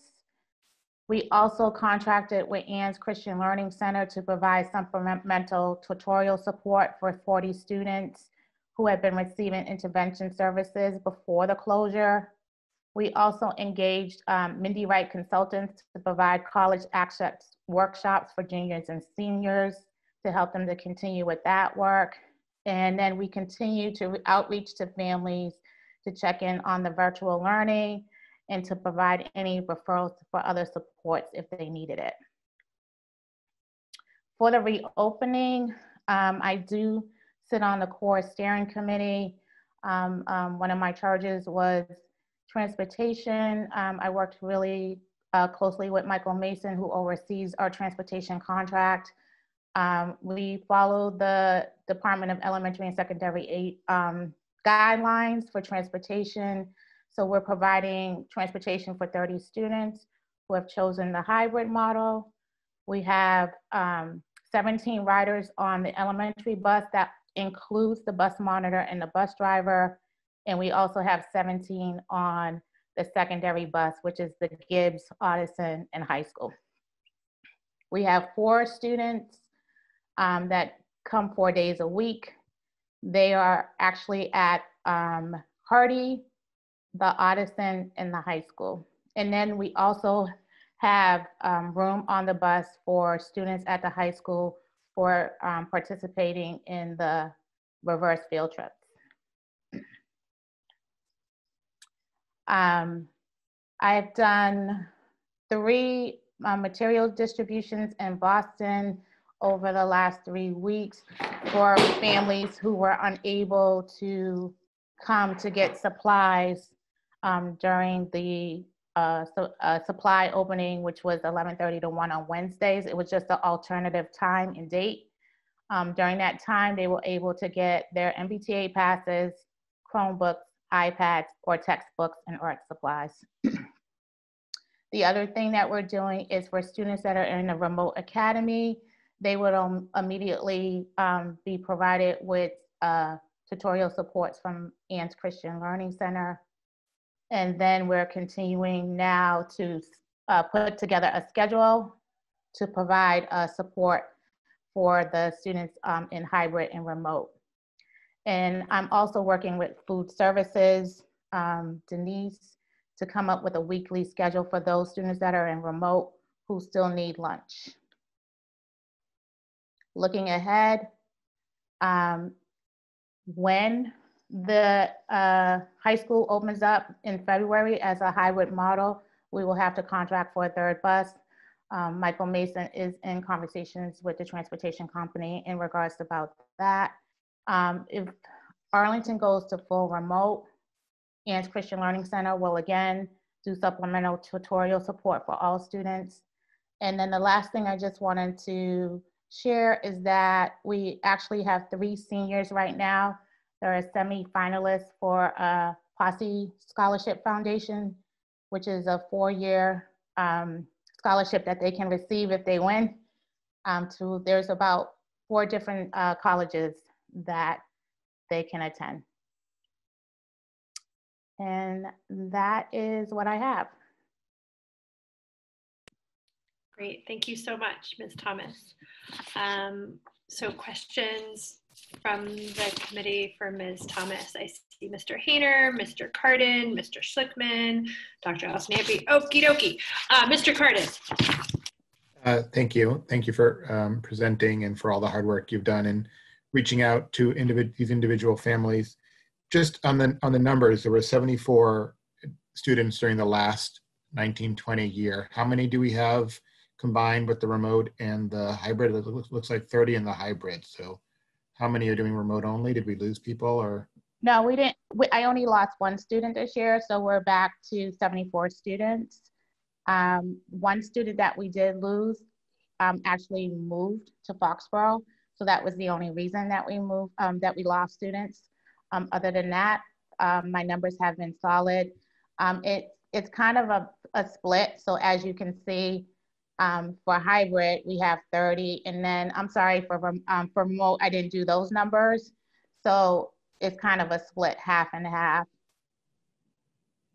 Great. Well, it's great we didn't lose anyone. That was one of my fears. So thank you for for that. And uh, that's it. Thanks. You're welcome. Dr. Allison Ampe. Thank you very much. It's great to have this update, and I think maybe we should do it every year, even when we're not in weird circumstances. Um, I and it's really nice to know how you've maintained the connections and and taken care of all the things that I've been worried about, and just to hear that we're really um, doing things for our families. Um, I have one question just based on the name. I just wanted to understand. So Ann's Christian Learning Center is secular. Okay. It's secular. It's not, it's, it's, that's just the name. So Okay. it's, it, yes. Right, and I'm not trying to say there's anything wrong with it, just given the name and, yeah, okay, thank you. You're welcome. Uh, Mr. Hayner. I just want to thank you uh, for all the work that you've done. Uh, During this time, it's been hectic, and I just cannot imagine the hours and time that you've had to put in. So thank you very much. Thank you. Mr. Schlichtman. Yeah, I, I was going to ask uh, the same question of Dr. Allison Ampe is that given the name of the organization, is this a secular organization and are they credentialed? Um, I want to thank uh, Ms. Thomas for her efforts on behalf of the students, and I hope she communicates to the uh, families how much we care about them and we want them to have a wonderful experience with us, uh, both through the pandemic and uh, going forward. And anything else we can do as a committee to uh, facilitate that and to make further connections with our Metco families, uh, that it, it's it's the top of the list of this committee, and I hope that uh, uh, we can do more. Thank you. You're welcome. Thank you. Anybody else? Great, Mr. Thielman. Thank you. Thanks very much for the presentation. Um, we don't we don't get many presentations from Metco, so this I I do think this should be an annual thing. Thanks. I my question was how many were in hybrid, and how many were remote. So it's 30 in hybrid, 44 in remote. Um, d- do you have any do you have any sense of of um, that that's so compared to the rest of the district that split is different. Um, you know the rest of the district is something like two thirds remote. Uh, I'm sorry, two thirds hybrid, a third remote, something like that. Uh, generally breaks down that way. What what's your sense um, about why it broke broke in that direction? Um, so what the, what I actually did, and I know we sent out the survey to families. I also called each one of my families just to see if they which one they were choosing, whether it would be hybrid or remote, and it gave me the opportunity to hear their reasonings. Um, and so some of my families chose remote because I have um, some families that have multiple children in different buildings. They have a pre-existing condition. They didn't want to not send one and then send the others, and then the others come back home. It was just becoming a higher risk. Um, I had families that um, families are working from home, so it's easier for them to just be home and be remote with their with their children. Um, I had families that they chose in hybrid because they felt like that would be better for their child. They've been home for almost eight, six months, and they were like, they need to get out. So it was just a myriad of reasons um, that families either chose hybrid or remote. Um, some families, for them, it was just still the safety issue. They still were not ready um, to send their child hybrid. Um, and some families, they just wanted to try. I think we did have one family that uh, and um, at the Hardy that would wa- had wanted to go hybrid, but then changed their mind again and wanted to stay remote. So, and I haven't had many. I don't think we have many requests of anybody wanting to change back and forth. Got it. Do, do you have a? uh, this, you know, you, you may not have this data and so you can just, you know, forget my question if it's, a- if it's not, if it's not helpful, but uh, do you have a sense of how we compare in terms of uh, participation in remote versus hybrid compared to other, other Metco districts? Do you ever, do you have that data? I don't have the data, but I do talk to my um, I do talk to my peers a lot. Um, so I, I, one of the things you all don't know maybe is I I'm the vice president of the Metco Directors Association. So we have an executive board that meets, and then I meet monthly with my peers.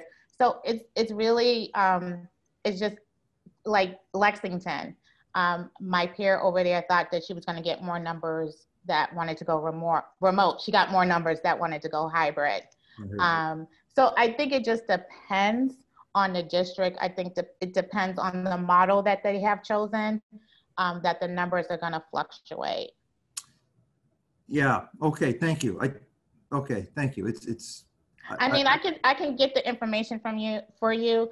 Yeah, I mean, it, that's easy enough for me to do. I'm just giving you some of that anecdotal information of just talking to people, but that's not something that we've all put together as directors. But, and I think it's easy enough for me to ask my peers. it would be, if, you- I don't want to give you more work and I'm only one member of this committee, but if you can get that information to the, to Superintendent Bodie, then she can share it with us. That would be great.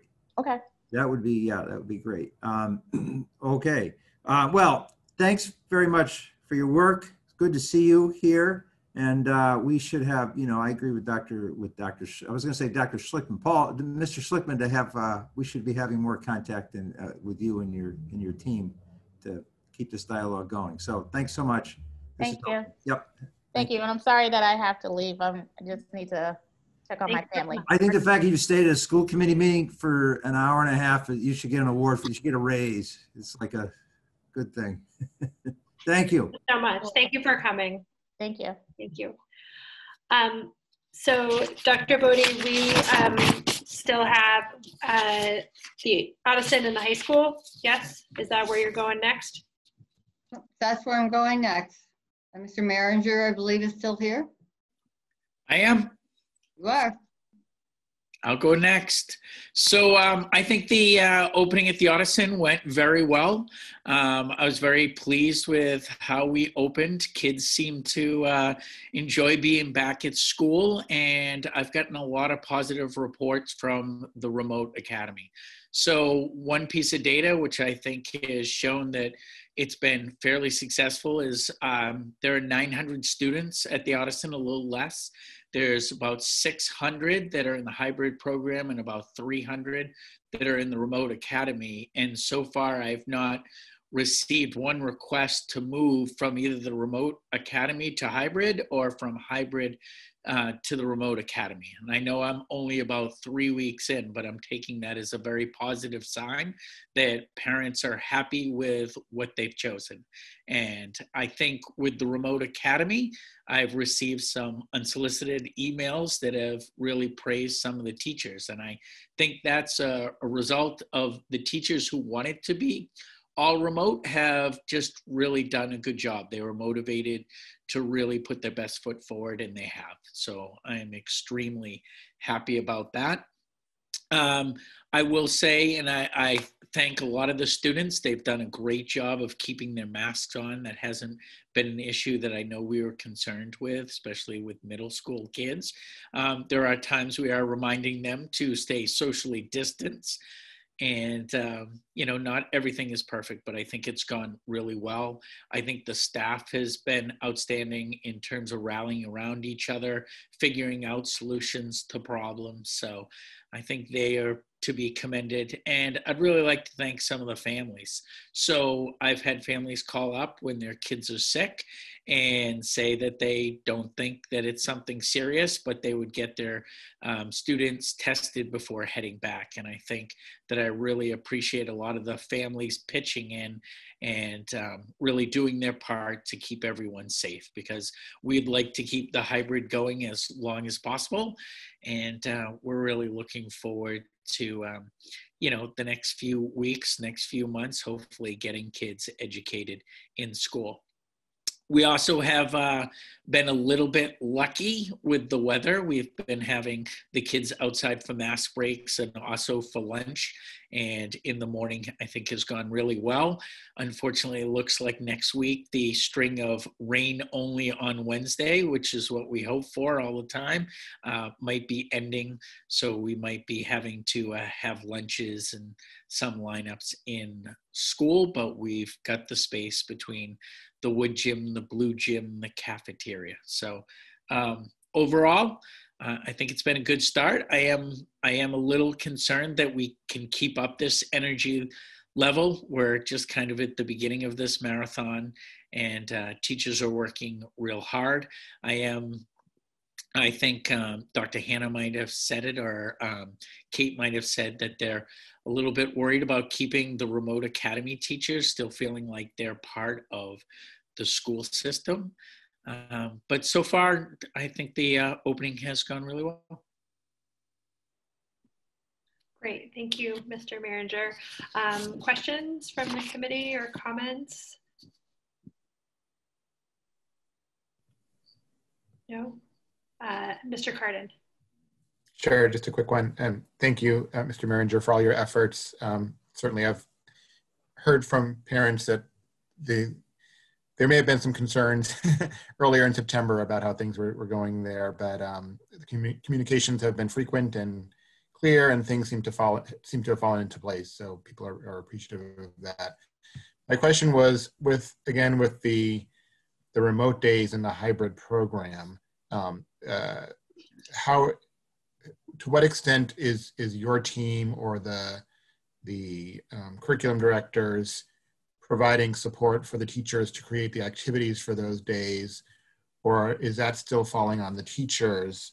Um, and, and is there enough work being created for the students on those days or, or are we still um, getting up to speed as far as filling those days for the, the hybrid program students when they're remote? Yeah, so there are some classes that um, students will have to be in during the hybrid. So, for example, if you have world language, if you have math support, you have reading, um, you do have slotted times in which you have to show up for a 45 minute class. I would say most of the students would have two classes on an asynchronous day. You also have PE, you might have band, orchestra, or chorus. So um, there are times that students have to check in, and they have been checking in, and attendance has been very positive. Um, so far, the Wednesday has really been the time in which the um, Teachers have been planning during the afternoon to give asynchronous lessons. For example, I know I talked to the civics teachers the other day and they're kind of in lockstep. And I think what has happened is you really have the teachers planning and giving a lot of the same asynchronous lessons out together.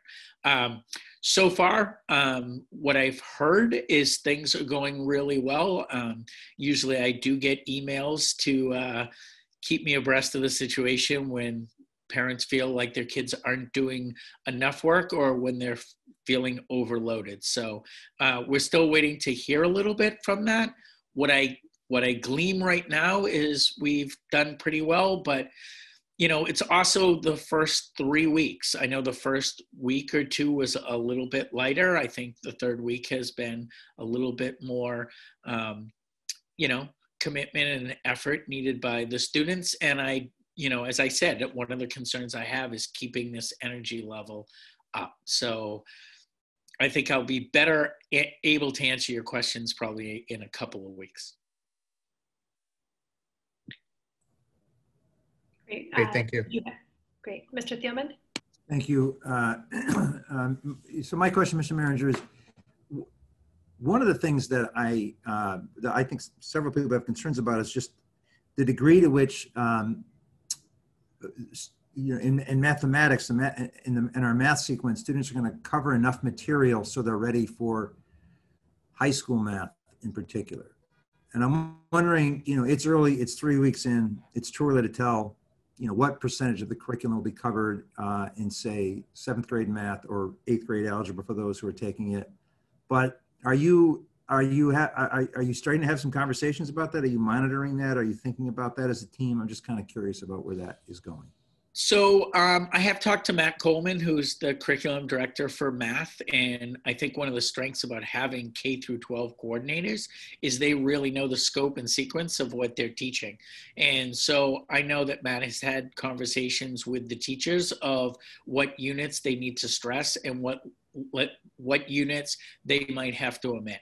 And so, you know, I, I, I am leaving it in his capable hands because he knows what the curriculum is for 9th, 10th, 11th, and, and 12th grade. And he has really made sure that he has sat with his math teachers over the summer, but also having regular correspondence and really stressing what is the most important um, concepts and theories that the kids need to know. Okay. All right. Thanks. I, I um, well, thank you to, to, to you and your team for your efforts. Um, you know, there's lots of studies about what happened to uh, uh, young people in uh, World War II when they couldn't go to school for a while, what happened to students after Katrina. Um, and so I hope our, you know, I'm, I'm just grateful that people are trying and working really hard to try to educate our kids in a difficult time. So thank you to you and your team. Yeah, and, and the curriculum directors have been outstanding. And it is one of the advantages. There's many school systems that have, you know, have um, department chairs at the high school and then department chairs at the middle school. And that has some advantages too, because it's a little bit more building based. But one of the things that I think is a benefit right now is that you have, you know, whether it's you know, Denny Conklin or Deb Perry, they know what they need to prepare the kids for ahead of time in a K through 12 span. And so they're able to make decisions. And nobody wants to cut out um, activities. And I, I think it's disingenuous to say that, you know, kids are going to learn the same amount of content that they would this year as in previous years. But I do think that you have to pick and choose and i think they'll know what to um, select because they know what is upcoming. All right. I just want to i just want to confirm mr Meringer's assessment of what will be addressed. Um, the same units in math will be taught as previous years but there's going to be some modification as to which standards will be stressed. And we're shooting you know we are trying to focus on and making sure that we're covering the essential standards that students will need for the next level. So, um, you know, we're going to make sure that that does take place. So we're, we're, like, we have identified essential standards in each content area and we're focusing on those. And so um, it will be the same units. It just will be some modifications as to which standards will be stressed and which ones will be you know, still taught, but not stressed as much as these essential standards. And the other thing I think we're interested in is classes are small. You know, um, you know, I wish we could fit more students in. I know that some students and some families would like to be there four days a week, but sometimes, you know, in that particular class, there's only 12 desks and chairs, and we don't have any more space. But the smaller classes, to me, will be interested to see what the learning is there as well. Because when there's 11 kids, it's a lot different than when you're having classes, obviously, of twice that size. So um, you are getting a little bit more individualized attention um, as, as, you only have half the students who are in class than, than usual. Thanks very much. Great. Anybody else? Um, so just, you know, I, I've been really impressed with how the schedule has sort of shaken out at the Ottoson. I feel like there's a nice balance um, on the home days of having opportunities for, you know, robust classes that are meeting um, I've been amazed at what teachers, what I've heard and experienced teachers are doing, um, able to meet with kids one on one, which I actually never thought we would be doing, which is funny, which of course they can meet with kids one on one.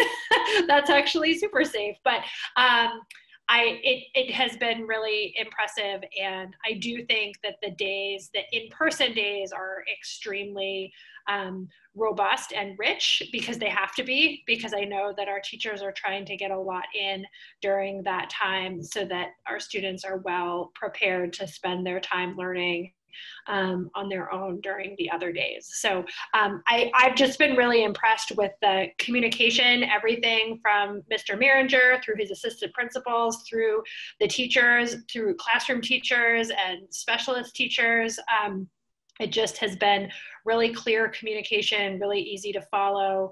Um, so it, it feels, you know, it feels really successful from the, the student perspective, certainly. So that's that's my feedback. Well, great, thank you. We always we always enjoy the positive feedback, and I'm glad things are going well. And you know, um, you did mention the two assistant principals, so Julie McEwen and Rochelle Rubino have really been communicating. I think you know very often and trying to make things hopefully as as clear and concise to um, people at home because i know a lot of families are struggling with the amount of emails and keeping their kids organized. So i i'm hoping that's helping. Great. We also have Maureen Murphy this year who is overseeing the remote academy program both Ottoson and Gibbs. So that's another great resource. Yes, I don't want to leave Maureen out, and she's taken a lot off our plate in terms of being able to um, not only at the at the Ottoson but also at the Gibbs answering a lot of questions for uh, parents who are in fully remote.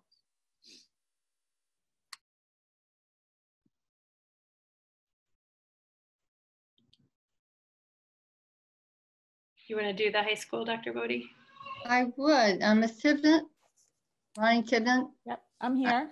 You're here. Oh, there you are. Thank you for coming. Thank you for waiting as long uh, for the high school. Mm-hmm. Um, so let me just turn it over to you. Sure. Thank you, Dr. Bodie, and thank you for having me. Um, for those of you I don't know, I'm Ronnie Tibnett. I'm one of the deans at Arlington High. Um, Dr. Janger had a conflict tonight, so I'm happy to represent our administrative team and, and let you know a little bit about what's going on at the high school. Um, along with what so many people have said, I'm happy to report that things have gone very smooth at the start of the school year. So much of it is a result of the dedication and the flexibility of our teachers. Um, I can echo what, what Brian just said about our curriculum leaders, the work that they have done to completely adjust curriculum to be able to fit our, our mostly remote model with our small group of, of population of students that are coming to the building each day. Um, so I'll start with some of our classes and our schedule and what's working well.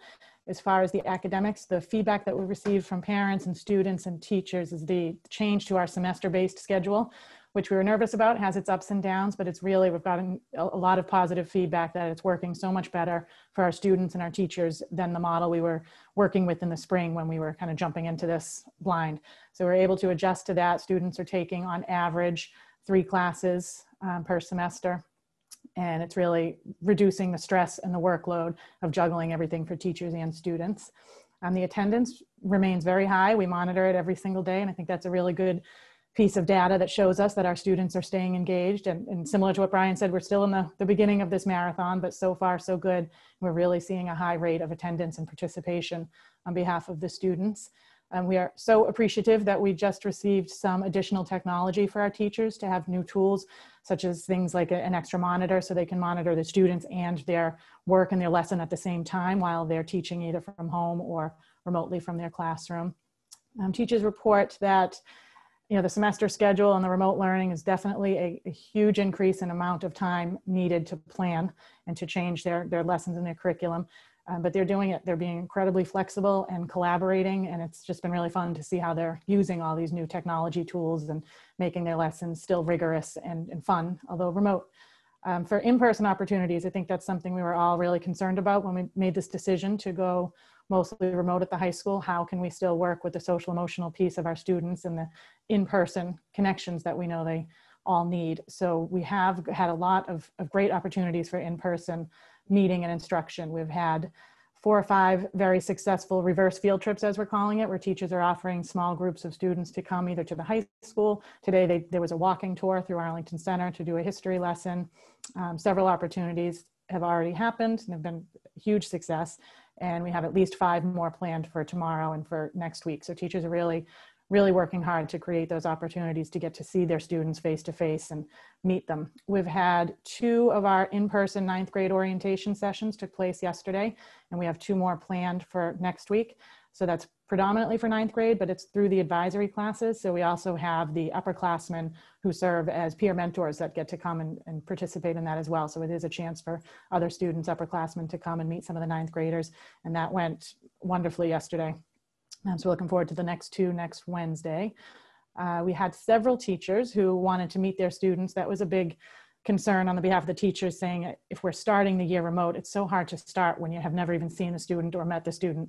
Last year, when we went into remote, it was nice that the connections and the relationships were already there. So it's tough to start without that. So a lot of teachers actually offered opportunities for students to come and pick up, whether it was art supplies um, or textbooks or handouts and, and get to meet their students face to face before they really got rolling with the school year.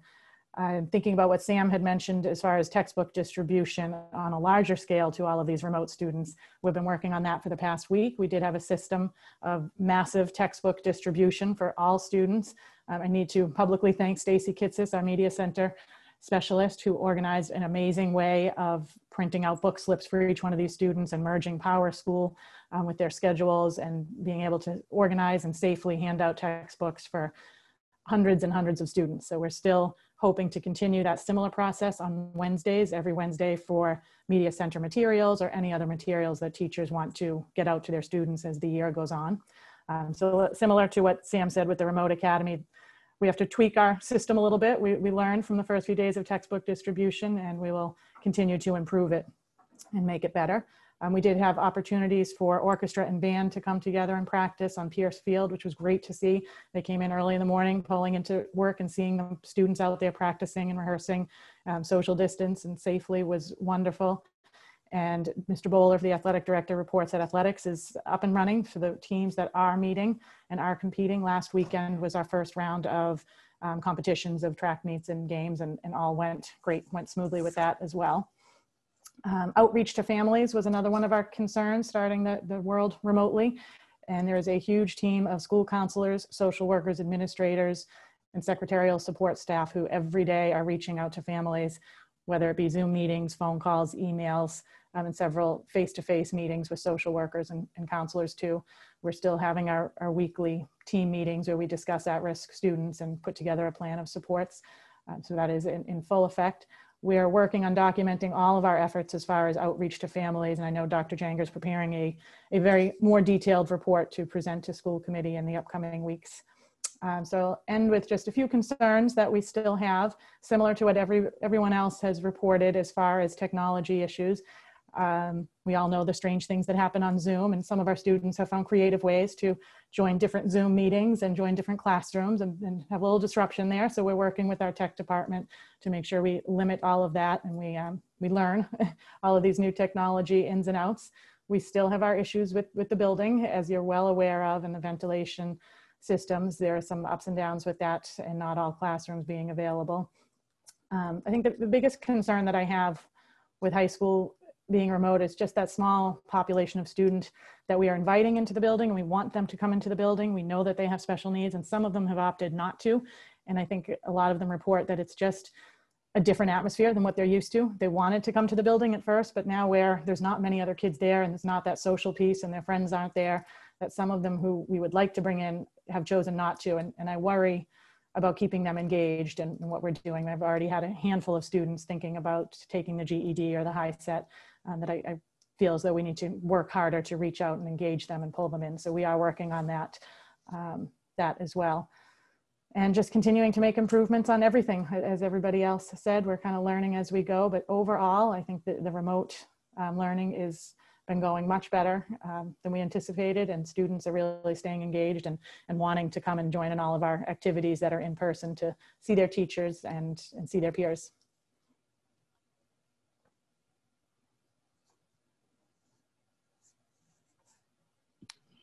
Great, thank you so much. Um, questions for uh, Ms. Tivnan?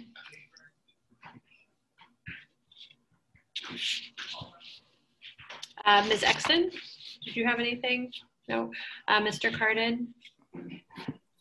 Um, sure. So I know you're just beginning to ramp up the reverse field trips. When you say five, four or five that have been held, I mm-hmm. assume we're, we're not doing full class, full 20 mm-hmm. students at a time. So are we talking about four classes having, you know, two or three reverse field trips so that people come in in shifts? Or are we talking, are we counting, you know, four sets of 10 students, so 40 students total? No, the, the first scenario. So we've had four or five teachers divide their classes into sections of 10 and try to work through them each in a day. Great. Thanks. Um, I mean, I, you know, I know we, um, I, I know you're just ramping up, but, and we, we have uh, more information coming from Dr. Janger on the, on the plan for in-person opportunities. But I, again, I would just encourage us to do as much as possible to, you know, while the weather's still good, Mhm. to get people meeting in person um, over over the next six weeks. Thank you. Yes, I think we, we definitely, the numbers are high in the next couple of weeks of teachers who are reserving spots, reserving spaces and reserving time slots. I think everyone's getting a little nervous about the weather and about the condition of some of the classrooms in the building that we may not have as much space as we'd like to have to do some inside, in-person reverse field trips in the winter. Great. Thank you. Dr. Allison Ampe? I just wanted to um, share that I've heard from some families who talk about how the sports practices, um, even just practice, doesn't have to be the meets or anything, are really something that's tying their students back to the school and making a big difference in terms of how they feel and, you know, in they feel much better having the sports practice. So I hope we can continue doing everything we can to make things happen. And um, if there's any way we might be able to expand it safely, um, I think we should look at that. I, I agree 100%. I have started volunteering on the cross country team to help them out since they had such huge high numbers. Um, for just the girls cross country, they have almost 100 students that are, are running this year. And so we're constantly reminding them to wear the masks in the public runs, wear the masks when you're around the res or any bike path so that we can continue, be safe, be smart, and make sure we're good role models out there so that you know, we'll be able to continue with the increasing some of the sports. Great, thank you. You're welcome. Mr. Thielman? Yeah, thanks very much uh, for the presentation. And um, I want to echo what Dr. Allison Ampe said about sports. There are a number of families that uh, we know and their, their students are in, are in some sports activity and it makes a world of difference because they're connected to other kids. Uh, they're outdoors, they're having fun, um, and it, it keeps them engaged. So, um, you know, I want to echo, I was going to say what Mr. Kardon said, which is that I, I you know, we, we have a report due from uh, the uh, Dr. Janger in a 10 days or a week or two weeks, I guess 2 weeks. Uh, uh, or I guess it's due to us on the 16th, but we're going to talk about it at the following meeting.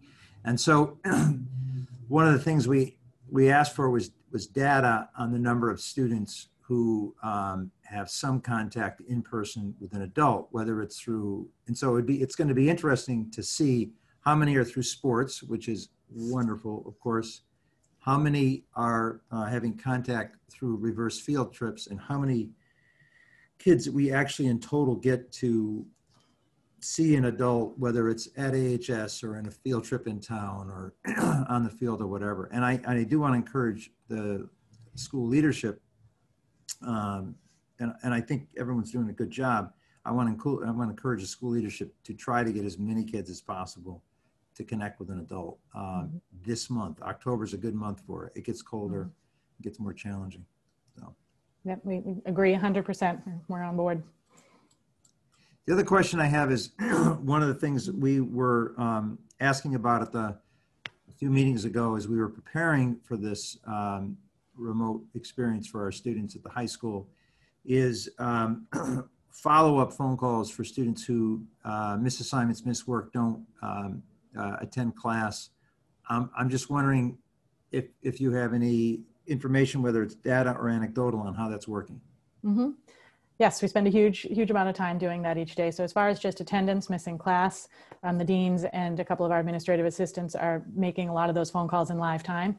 Where one of the challenges for teachers, we're asking teachers to try to do attendance in the first 15 minutes. The classes are 80 minutes long. We would have plenty of time to still reach out to a student and a parent and say, hey, what's going on? You're not on your English class.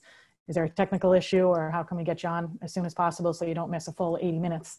Because that's a big chunk of time. Good. Um, so we are doing that every day and teach, and we're documenting all of that as far, part of Dr. Janger's reports of how many emails and how many phone calls are going out. And teachers are doing a great job of reaching out and including the deans in any emails so that we know which one of our students are, are struggling um, and not, not engaging. Yeah, uh, I would just say from, you know, personal experience as a parent and then, you know, experience in the circle of people we know is that the, you know, the, the remote experience is, is far superior to what, uh, what students and families experienced last year. So Mhm. last spring. So uh, congratulations to everyone Thank that you. worked hard to make that happen. That's good to hear. Thanks. Thank you. Mr. Schlichtman? Hi, thank you very much. Uh, you're probably uh, the wrong person to ask, Ms. Tivnan, but uh, uh, do we have a count of how many of these uh, Zoom frolics we have of people popping up into classes where, the, where, where they don't be, uh, belong? Is this a uh, very infrequent but annoying, or is this a little more frequent than, than, than we expected? It's a infrequent but annoying. Uh, it, we had two or three of the kind of anonymous Zoom bombing that I think a lot of us have experienced from people that we believe may have been outside of the high school and um, unique things like that. That was maybe two or three of them that were reported to us. And just recently, we've had two this week of students we believe to be students changing names and jumping on. So we will put an end to it quickly, but just one of the the new challenges of remote learning that we figure out as we go and, and the technology department has already been on helping us identify who's who's signing in and what's going on Yeah, because I think we had one of those at the Ottoson as well uh, that we discussed last week. Uh, yeah, the challenges of uh, remote learning. Uh, have Mhm. fun. Yeah You know. kids are always a step ahead of us with all of that right we'll, we'll catch up Mr. Hayner?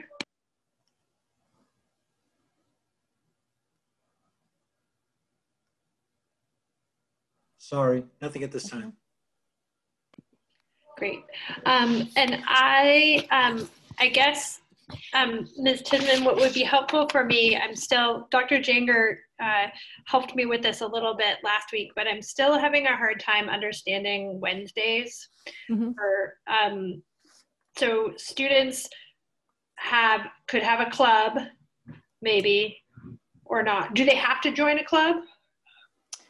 they do not have to but we strongly encourage everybody to, to join something and we do have a club day coming up um, that we're organizing to make sure that all incoming students learn about all of our different clubs and what's being offered um, and where. So wednesday mornings i actually had pulled the schedule up. I thought somebody might ask about it. I have it on my desktop. Wednesday mornings um, are jam packed with our physical education classes that the majority of our students are taking place in. At 11.30 every student is assigned to an advisory um, where they meet in small groups with a teacher. And again, it's a connections building, relationship building class. And then we move into um, counseling, our X block and our counseling, where most seniors are working on college applications with guidance counselors and scheduling issues, any other counseling and extra help that needs to take place. And we have some professional development time for teachers. There's some great uh, PLCs that are going on where teachers are collaborating and sharing new tools, and then staff meetings for us at the end of the day. Um, so students are engaged in, in phys ed, extra help, one-on-one counseling, and the advisory period that every student is assigned to.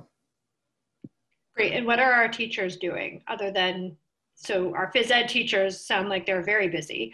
Um, and our, it, all of our, many of our teachers, I presume, are advisors. But what are, what are they doing before 1130?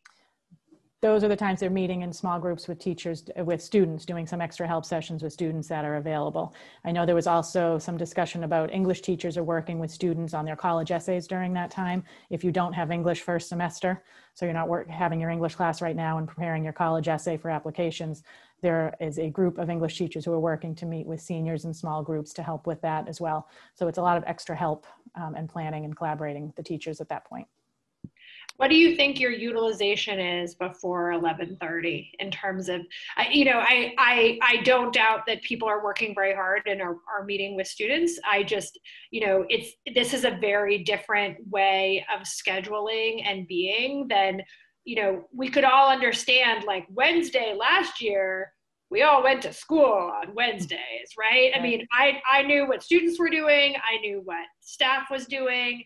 Um, I knew we were utilizing our our FTEs and our time, and it was pretty clear because they were in front of kids generally, right? So I guess I I'm trying to understand how we're using our because it's still you know I mean it's still Wednesday, it's still a day, right? Right, so no, I I'm- understand. I'm, I'm trying to understand what are what what your sense is of your utilization rate you know um, obviously a, a french teacher isn't teaching pe right they're maybe leading an advisory they're not helping students with english essays so so I, i'm trying to understand how how we're using that time Right. No, I understand it. it, it you know, the equity issue as well. Um, you know, are all teachers engaged in teaching and meeting with students? And so maybe that's something that we look at as finding a tracking system of really seeing who's doing what with their time and scheduling um, time a little bit different during that.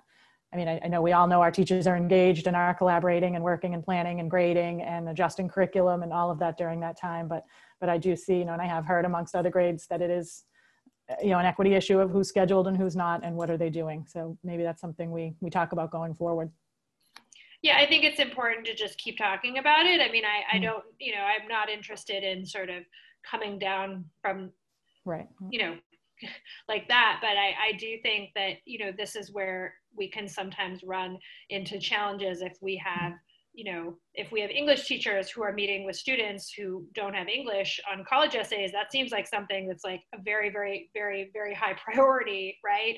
But then, you know, it, it needs you know we we need as the school committee we need to know that our administration is is putting this together in a way that that makes sense and that you know obviously we're you know we're accountable to the to the voters and the taxpayers. So we want to make sure that we're you know utilizing our staff um, appropriately but also that they that they feel that they're being utilized appropriately is perhaps more and, and, and equitably across disciplines so that's definitely something I, you know, I'm going to keep asking about. I haven't felt um, totally comfortable with it yet at the high school on Wednesdays. I Monday, Tuesday, Thursday, Friday. Like I, I get that um, Wednesday still feels tough for me, um, especially there. And I don't know if it's just the lack of of synchronous classes, which I understand why we're not doing that um, to some extent. I just I do want to make sure that you know that we're we're using our time because it is Wednesday.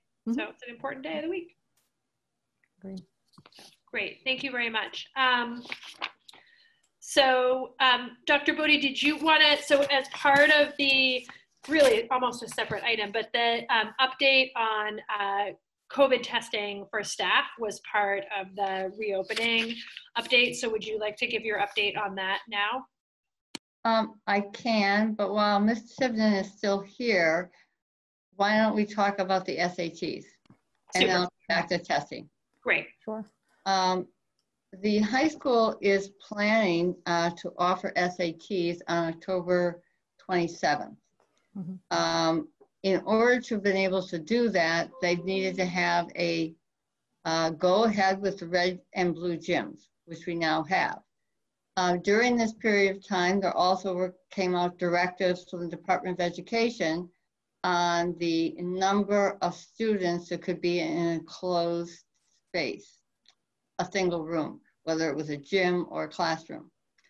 So there's, there needed to be uh, a series of permissions and working with um, our own Board of Health, uh, Department of Health and Human Services, as well as the Department of Education. And all of those, um, all of that kind of discussion has taken place. And we are going forward with a program so that we have uh, primarily is going to be offered in the red and blue gym. And right now, the plan is to invite those seniors who have not had a chance to take the SATs at this point. And I believe, um, uh, Ronnie, if you could correct me, I think it's about 160, 166 students. I, close to, I thought I heard even a little less. I thought Maybe- maybe it's 140, not but you may be right, yeah. Yeah, well, It's in the somewhere. ballpark. Mhm. And we, we would be able to accommodate them with the plan that's been approved by Department of Education and Board of Health um, in those two spaces, and we'll have some uh, breakout rooms for accommodations. So this is going to happen, and, and I want to congratulate the high school for all the planning that's it's been necessary in order to make this happen. I don't know if you'd like to make any comments about this as well. I know you've been very involved with the very, very detailed safety plan that's in place for this program. Mhm. All right, I think I just for the families out there watching, we we really feel for the families that struggled so hard with College Board to try to find a place to have their child take the SATs this past spring, summer, and fall, and how many times they picked a, a site and they scheduled it, and then it was canceled last minute and canceled last minute. It happened to so many families so many times. So we're really we're pushing to be able to offer it safely at Arlington High, and and we hope, fingers crossed, all it keeps moving forward, and we can do this for them. Right. And, and I will assure parents they have a very, very detailed safety plan in place. Um, and that is terrific. So thank you for all your work in making this happen. No, no problem. We're happy to make it happen. And, and yes, we do have a huge safety plan as far as moving around the building, as far as mask wearing and distances amongst the desks and measuring. And we've been working on that for, for a while now. Yeah. It's quite impressive, actually, all the detail you've gotten down into with this plan. So we hope that it will go forward. Uh, that is, uh, that's, that's the plan right now. Great, thank you. Um, I see Mr. Thielman, Dr. Allison Ampe on the SATs. Um, Dr. Allison Ampe. Um, just a couple quick questions. First, I'm assuming the students will need to wear a mask during the entire test. Okay. Um, and will, when will registration open and close? I do not have the answer to that one for you right now. Our, one of our guidance counselors, Danielle Rakowski, organizes the registration. So we need to get an update from her um, and College Board now that we've kind of jumped through all the other hoops and gotten the approval with all the other organizations. So hopefully as soon as possible.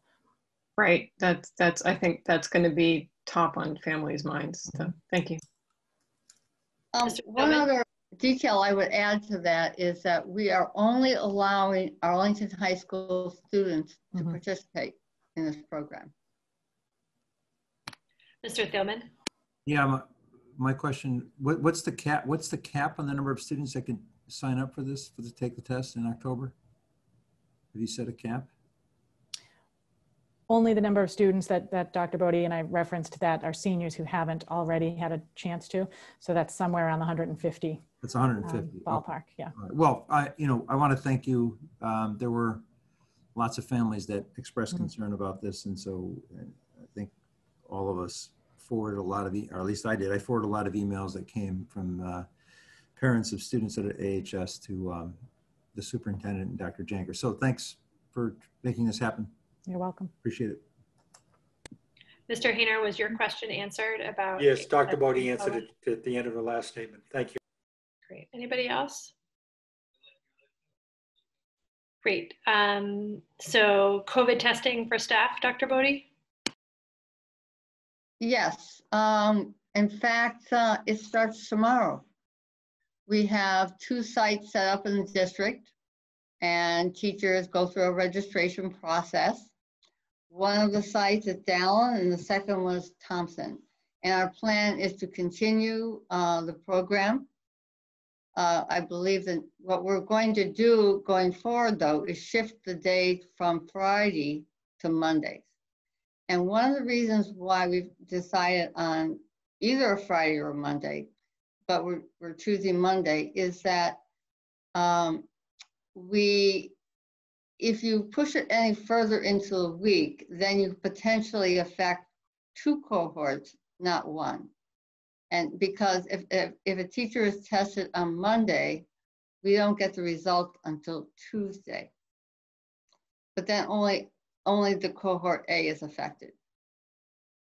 So that's the rationale for that. I want to thank um, the partnership we have with the uh, Department of Health and Human Services. They've been terrific in supporting this program. Uh, Cindy Sheridan Curran and Sue Franke. Uh, it's taken a lot to get this program up and running, but um, we are there and it begins tomorrow. And I believe we have, uh, at least as, as of this, this morning, I think we have about 200, slightly less than that, staff members who have signed up. Mr. Spiegel and then Ms. Fernandez. So it's also at Ottoson. So that there's three sites tomorrow afternoon that um so Thompson for the most of the staff and uh, the schools on that side of town, Dallin for the schools on on that side of town, and then Ottoson for the Ottoson and and high school staff and and people who work at the high school. Yeah. Um, the Ottoson, sorry, I should have said that too. Um, Ottoson and Dallin are drive-through, whereas the Thompson is a walk-up. But people could walk up if they don't have a car. So Yes. that's yeah. Great. Thank you, Mr. Spiegel. Uh, Ms. Fernandez? Thank you. Yeah, we just wanted to say thank you from the AEA for the district for bringing the testing back. It was, you know, something that was really on the mind of many of our members. Um, that was really important for us, and we're so grateful for all the effort that um, went into this, particularly Cindy Curran and all the organization um, to get that back to us and, and to provide it on an ongoing basis. We, we just wanted to, to say thank you for that. Great, thank you. Um, other members of the committee? Um, I, you know, I, we obviously, you know, think that this is really important. I'm glad that we were able to um, move this from uh, an, a, a program that was being administered on the town side where they have um, a lot of ongoing uh, things that they're working on, not the least of which is making sure all of our students um, have access to a flu shot, which is a really, really big deal. Um, also really important, but I'm glad that, um, that this was able to be sort of um, moved over under the APS umbrella. It's really, it's really important. Um, and I'm glad that we're able to offer it. So thank you, Dr. Bodie, for your work on this. Um, my only question was, is that if you're gonna move to Monday, are we gonna find ourselves in a situation where there's a week in which there isn't testing or will you offer testing on a Friday and a Monday? Or we don't know yet? Like, so if we're doing it this Friday, right, and then we wanna move till Monday, are we gonna wait 10 days to offer it again? You know what I'm saying? Or like, I guess that, or, or what, when you move to Monday, I, I guess I want to make sure that I understand what ongoing means. And is there going to be a sort of prolonged period when we don't, like longer than a week when we can't offer testing for our teachers? We are not offering it this coming Monday. It will be the 19th.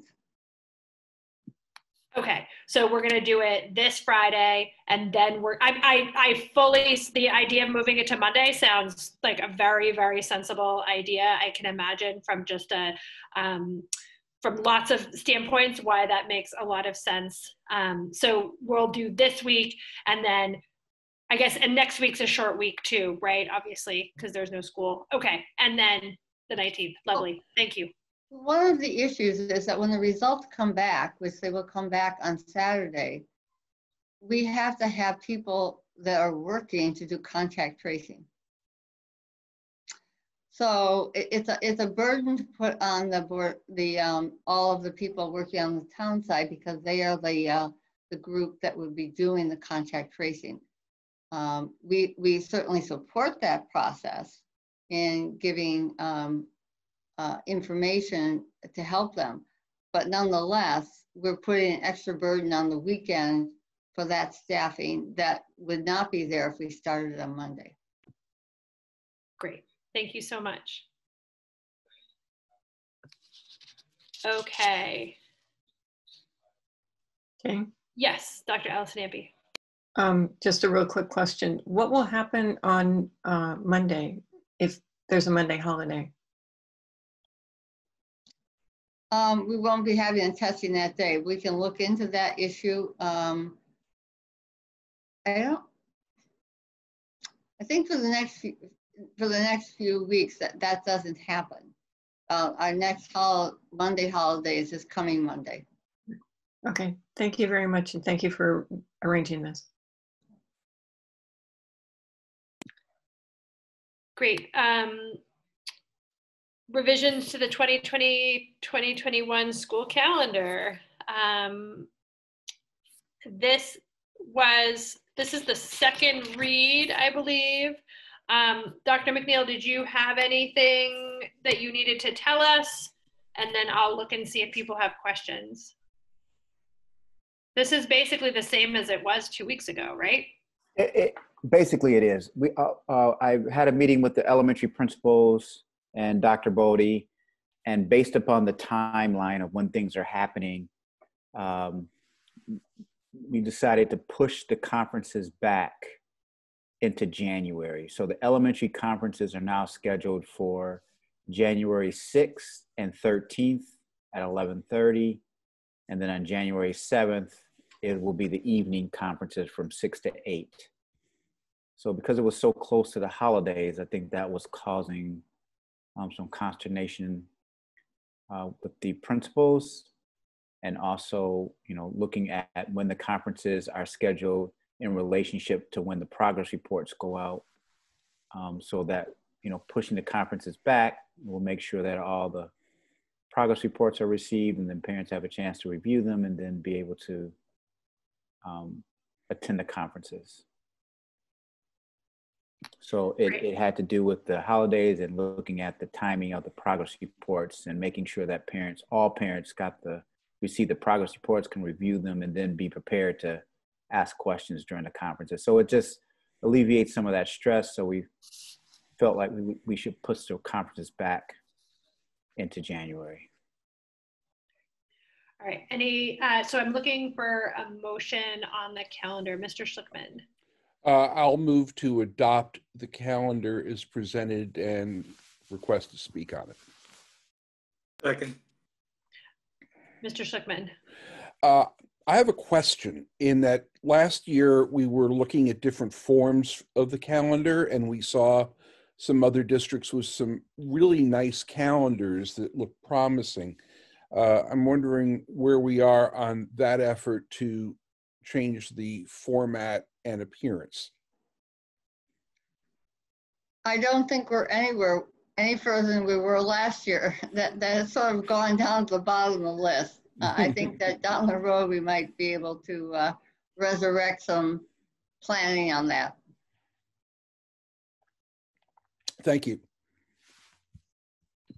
Anybody else on the calendar? Seeing nobody, on a motion by Mr. Schlichtman, second by Mr. Hayner, I think, right? Um, the revisions to the 2020-2021 school calendar. Um, Ms. Exton? I couldn't hear you actually. Yes. We haven't heard, oh, good. All right, perfect. Mr. Kardon, Yes. Dr. Allison Ampe, Yes. Mr. Thielman, Yes. Mr. Schlichtman, Yes. Mr. Hayner, Yes. And I'm also yes. Um, APS hiring update. So, um, Mr. Spiegel, I'm going to have you do. Um, I think we should talk about them. We can do questions separately, but uh, you have the floor for um, hiring as well as the diversity hiring report. Yes, thank you. Can I see if I can share? Yeah. Um, okay, so just going to share a couple slides here. And so this is just an update since two weeks ago. Um, we've had some new hires. A couple of these people haven't haven't started yet, but we've um, they've been onboarded and are ready to start. I think next week, uh, an Ottoson Spanish teacher and a special education teacher at Brackett. And then we've just this week hired two nurses, one uh, for the preschool to replace someone who had resigned, and then another one to one nurse for a student who needs one to one nursing support. Um, we've hired a lot of paraprofessionals in the last two weeks. That's been the majority of our hiring um, and the majority of positions we still need to hire. So include, you can see the TAs for elementary, remote academy, all preschool, Stratton, Hardy, Gibbs, Ottoson, Dallin, and Brackett. So we're still, um, we still have some vacancies. Um, basically, we have teaching assistants and building subs at Bishop, Peirce, uh, Stratton, Hardy, Remote Academy um, that we're still looking for. We're still uh, have a couple Title One literacy tutors. Um, we that those were kind of late postings just because the Title One budget is always uh, the grant is always it was a little bit late this year with with our how, knowing how much we would have. Um, so we do we're looking to fill those positions. Um, the math instructional support paraprofessionals. Um, I think we're about to hire elementary reading teacher we're still looking for and um, uh, AHS has a paraprofessional that supports students in um, credit recovery, and we're looking to fill that position due to a recent vacancy. And so that's um, that's really the hiring update. Um, stop the sharing there. Um, did you want me to take questions now on that? Let's do the diversity hiring and then do questions on all. Okay. that makes sense.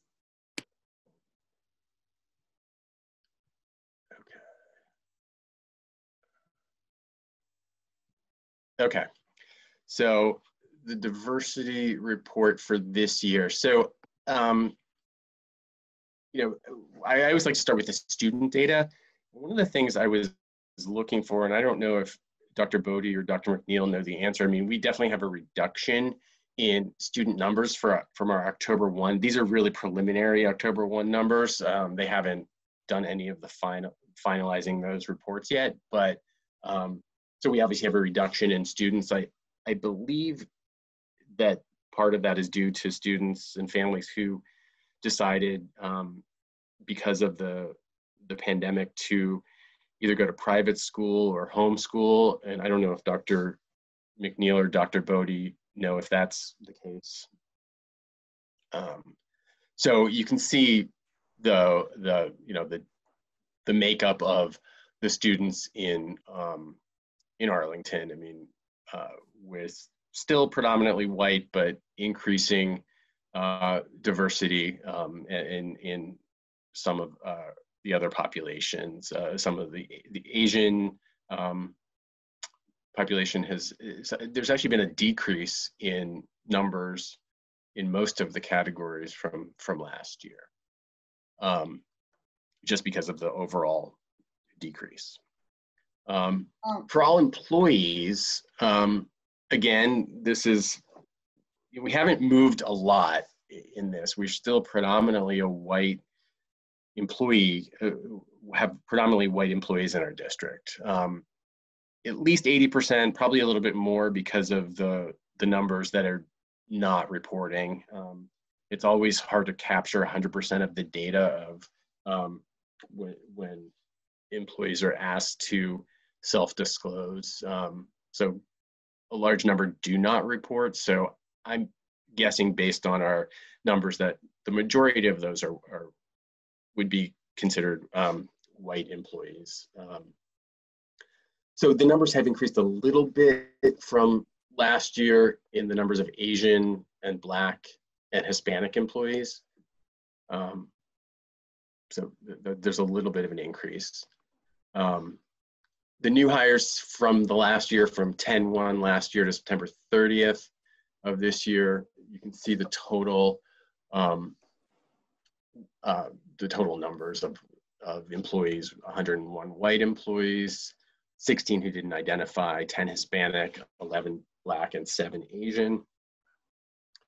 For the AEA, again, the numbers have not moved a whole lot um, in, the, the percentages. We still are having a, some challenges attracting a, a large number of applicants and hires who, especially in the teaching employees who are um, who do identify as Black or, or Hispanic or Asian. We have um, the Ottoson actually was one of the schools actually that was able to to hire um, some additional uh, employees in in those categories this year. Um, so there, there are some more some more teachers in in in the school who are identified as Black, Asian, or Hispanic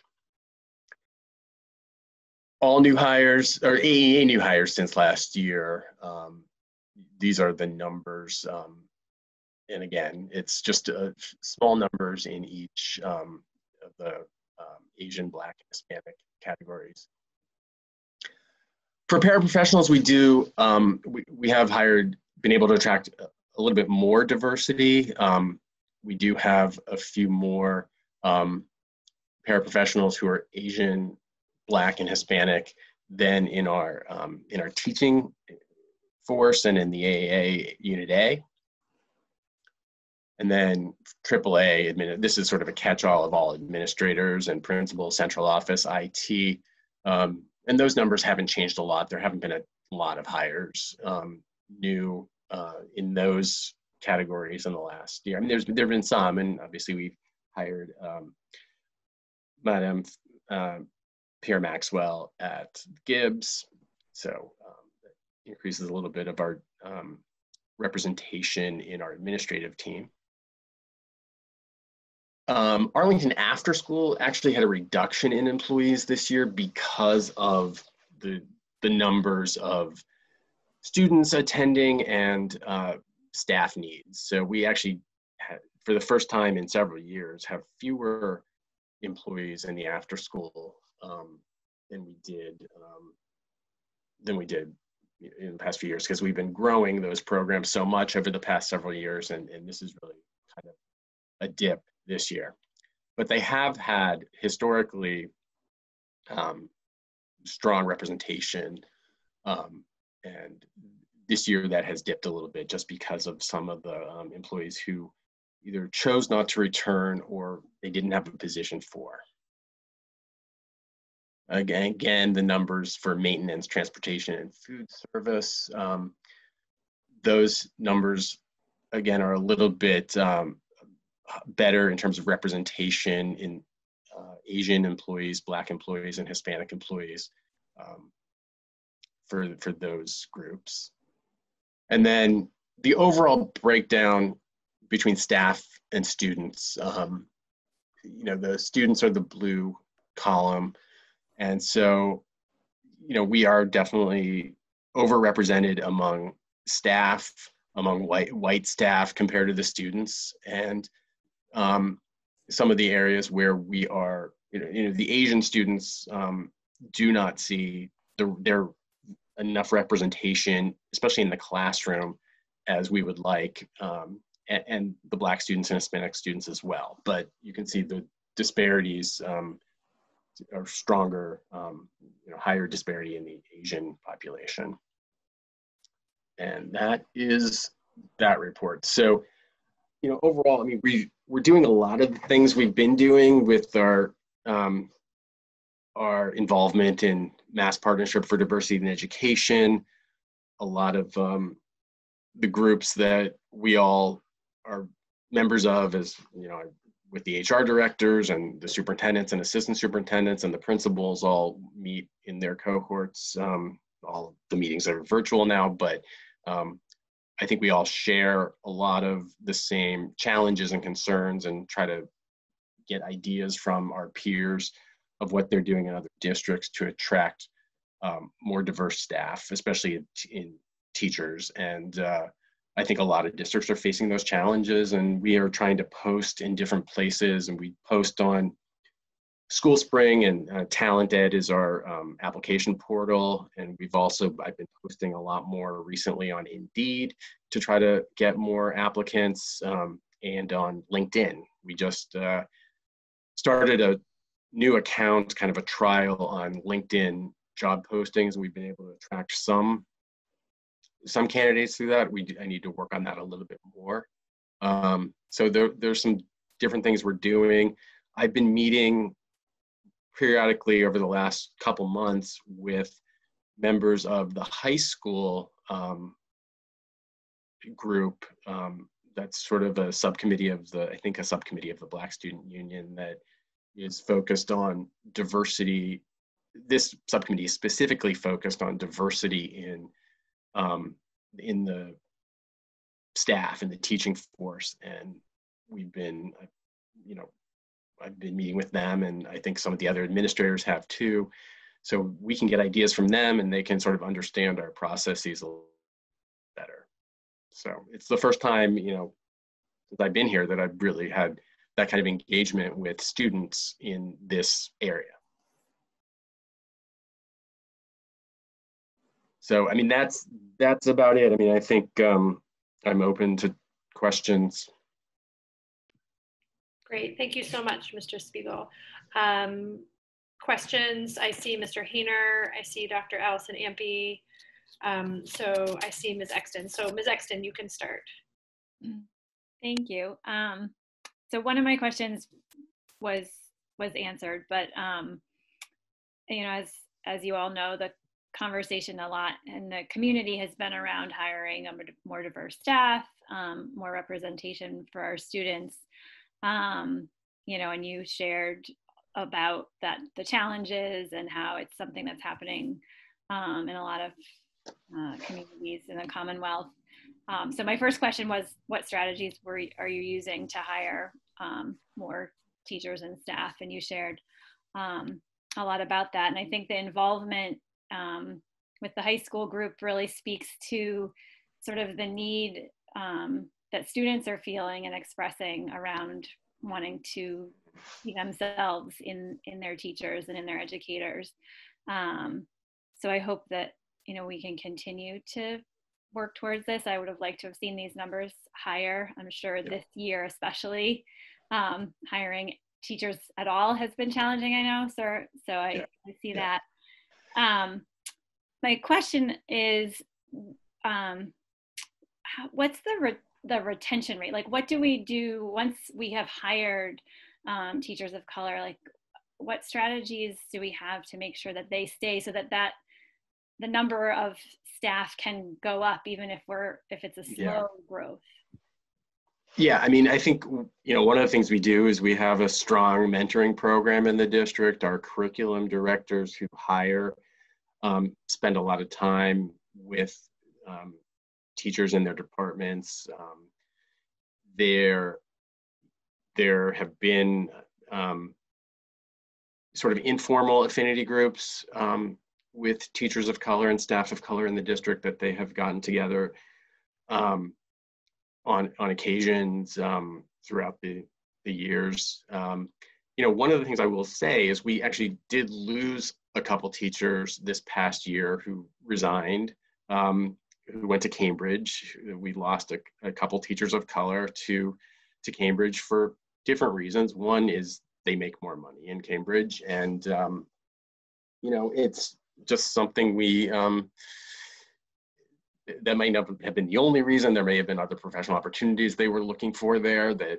um, you know, something different. I mean, I'm not exactly sure. I'd have to go back and look at my notes from the exit interviews, but um, is sort of a challenge where you kind of feel like, um, you know, we those are teachers uh, like any all the teachers we you know put time and effort into the mentoring and everything, and uh, it's disappointing when they when they leave. So, um, you know, we try to retain. We can't retain every teacher, unfortunately, and um, you know, I think we need to sort of look again at that and maybe, you know, I, I know um, it's going to be a challenging year this year, and know, we'll, you know, I don't want to get into contract negotiations here, but the the salaries are just one area that may be an issue, uh, something we can look at. Yeah, and I think um, you know, you talked about affinity groups. I when I think about, you know, if, if teachers feel supported and see themselves in other staff members, mm-hmm. then they know other people and um, you know can reach out to their communities to to bring more you know building on that from making the the teachers of color that do work here feel like they belong and they are supported and they have um, peers that um, in the in the schools um, that they work with that they can you know connect with such that then more will want to come. So just i appreciate the work that you're doing and the way you're thinking about it and just yeah. encouraging um, us to continue to work on that so thank, thank you. you. and I, I think dr MacNeal has been involved um, you know a lot has changed with the pandemic with everyone being so busy with so many things and meetings all the time but i think pre-pandemic there were periodic meetings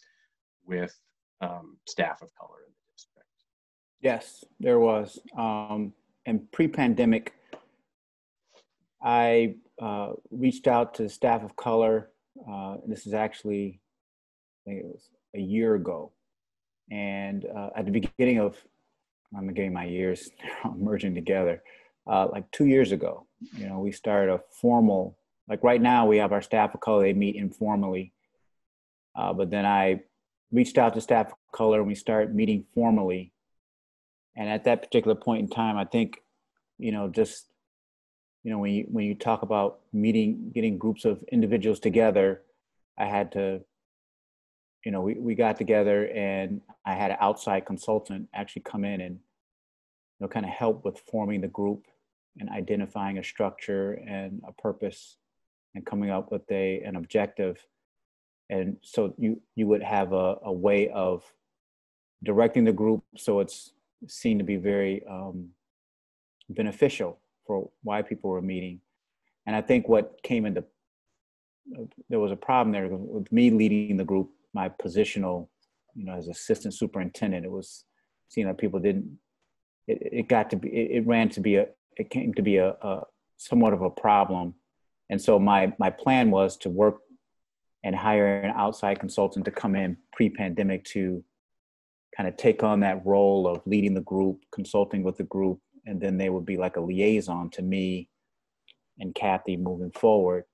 Um, but then the pandemic hit, and then our focus kind of shifted to just providing instruction for students and shifting the curriculum and being able to do that. So, you know, as we get more into this year, I, I do plan on to continue that um, that initiative and that pathway to trying to find a way to formulate a structured activities and having the staff of color come to come together in a formal way.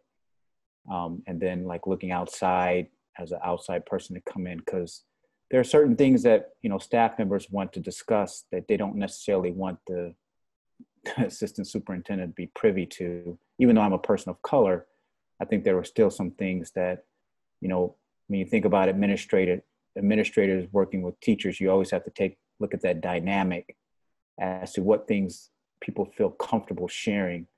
And then you look at your position even though i don't look at it as, as that way but people still view me as you know the assistant superintendent. So i think that came into play and there are certain things that they didn't want to disclose to me and so i, I think that that was a, a problem with that. So like i said before i still think that it's something that we need to pursue and you know still have that opportunity for staff of color to come together and do it in a very structured and formal way And so they can see that as, as a benefit.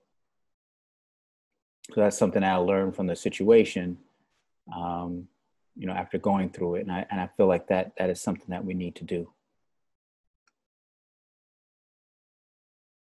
And I also want to, again, I want to chime in is that, you know, also uh, one of the challenges of hiring people of color in a majority white district is that, you know, many of the, and this is part of my doctoral work, is that after, you know, exploring this and researching this, this uh, topic, you know, a lot of people of color want to go back to the district where they were actually in school. So we have like, you know, we have Boston, we have Cambridge, which has much more diverse uh, population of students, and that's, you know, for people of color, you know, that was some of the feedback that we got. Like, why did you come back to this particular district?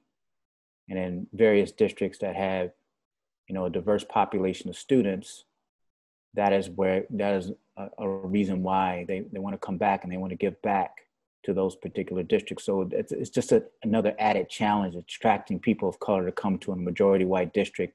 When you look at the staff that's majority white and the students are majority white, and some of those you know individuals want to go back to the district where they went to school so they can give back and that they that you know fulfills their you know from an, an intrinsic standpoint that that fulfills their that's more fulfilling for them not that they wouldn't come to a all white district is that, that they want to give back to where they went to school so that's another dynamic that we're competing with as we as we try to you know uh, you know uh, address this this topic this issue so that's food for thought.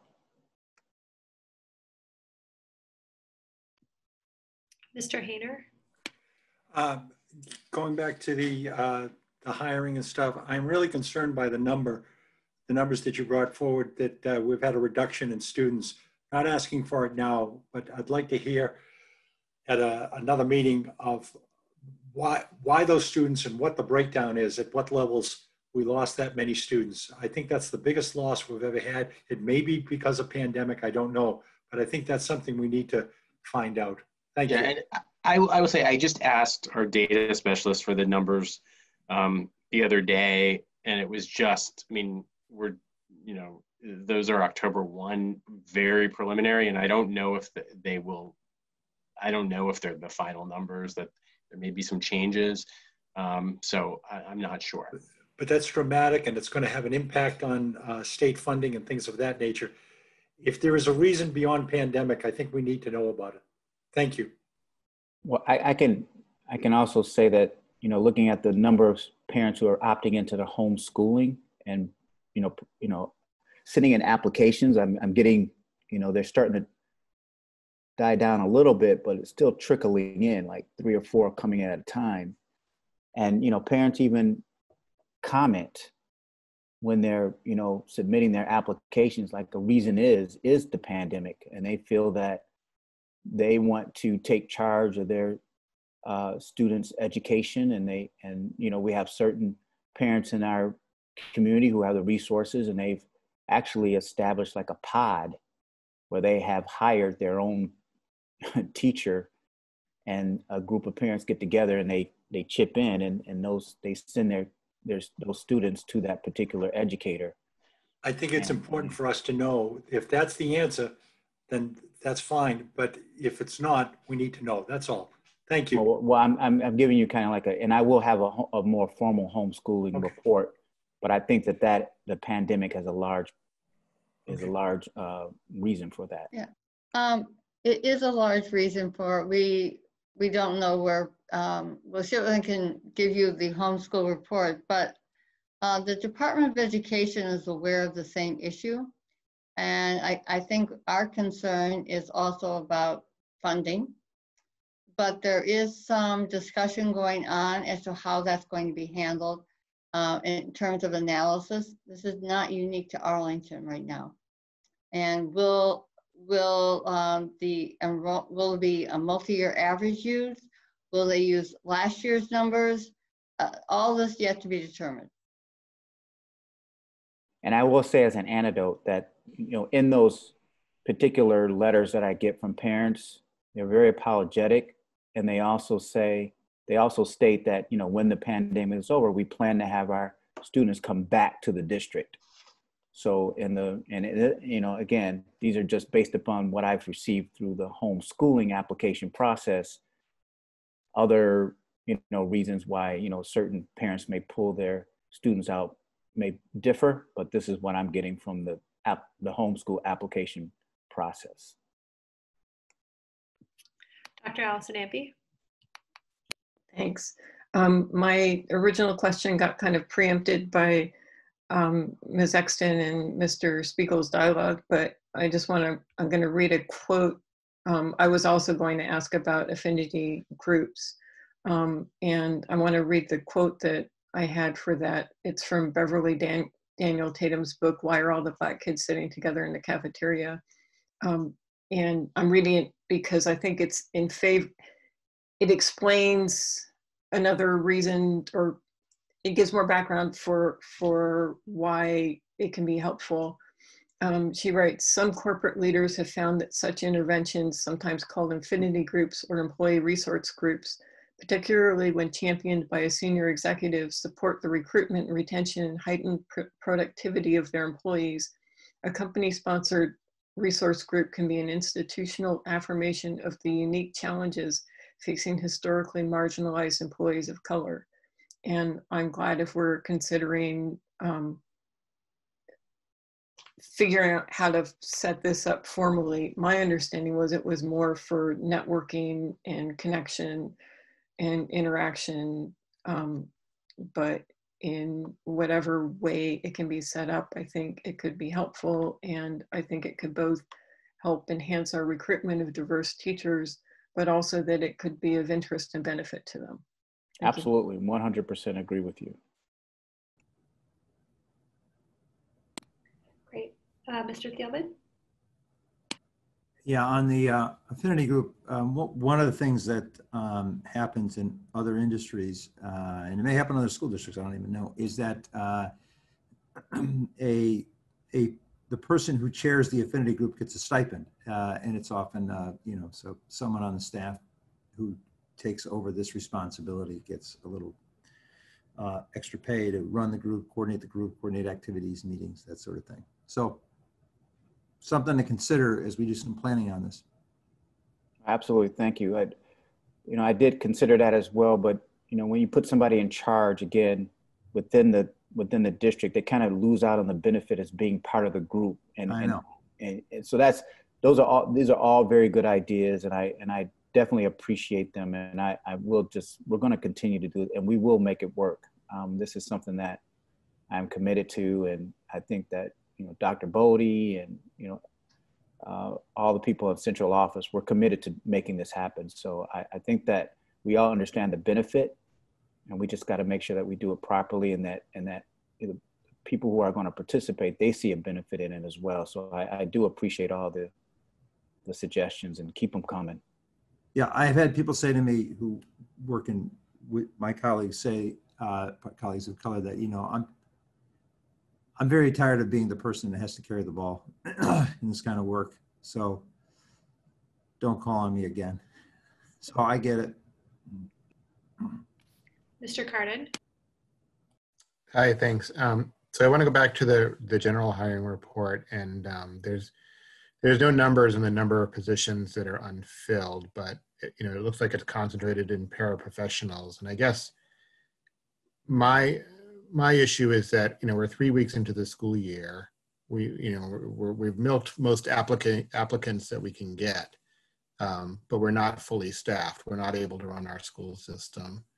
Um, so I, I, think what we need from you, uh, Dr. Bodie and Mr. Spiegel, is is an analysis of where we're still short and how we're going to cover that. I mean, maybe maybe we need to do a hiring bonus, and obviously that's subject to union negotiation but if we pay that that you know thousand dollars to all of the people in that unit, um, you know, if that's what we need to do to staff up, then then we need to hear that, um, and we need to see if we have the money to do that. Um, but uh, you know, I, we're already three weeks in, and I just don't know where how we're going to be able to run the system like this going forward. Thanks. Yeah, I mean, I would say one of the issues we have is that we are, you know, the there's so many needs and every kind of need to work together. And what I've been trying to do is sort of do general postings and sort of get the applicants and um, and distribute them to the administrators to to review and, and bring in. We also, I mean, one of the differences this year is we need remote TAs. Um, and we've hired several. We still need to hire a few more. So that sort of takes away from the pool that can work inside in person in the schools. Um, you know, one of the things we've done, we've been able, because there was a reduction in the after school staff, we've been able to hire a few of them for in, uh, both in person and remote teaching assistant positions. Um, so that's been one area that we've been able to um, sort of not lose those employees altogether. Um, and you know we're still continuing to post, still continuing to use our our networks, and uh, you know you're right. I mean, I think, but this is again not only an Arlington issue. I think a lot of districts are dealing with this uh, these challenges of hiring enough paraprofessionals right now.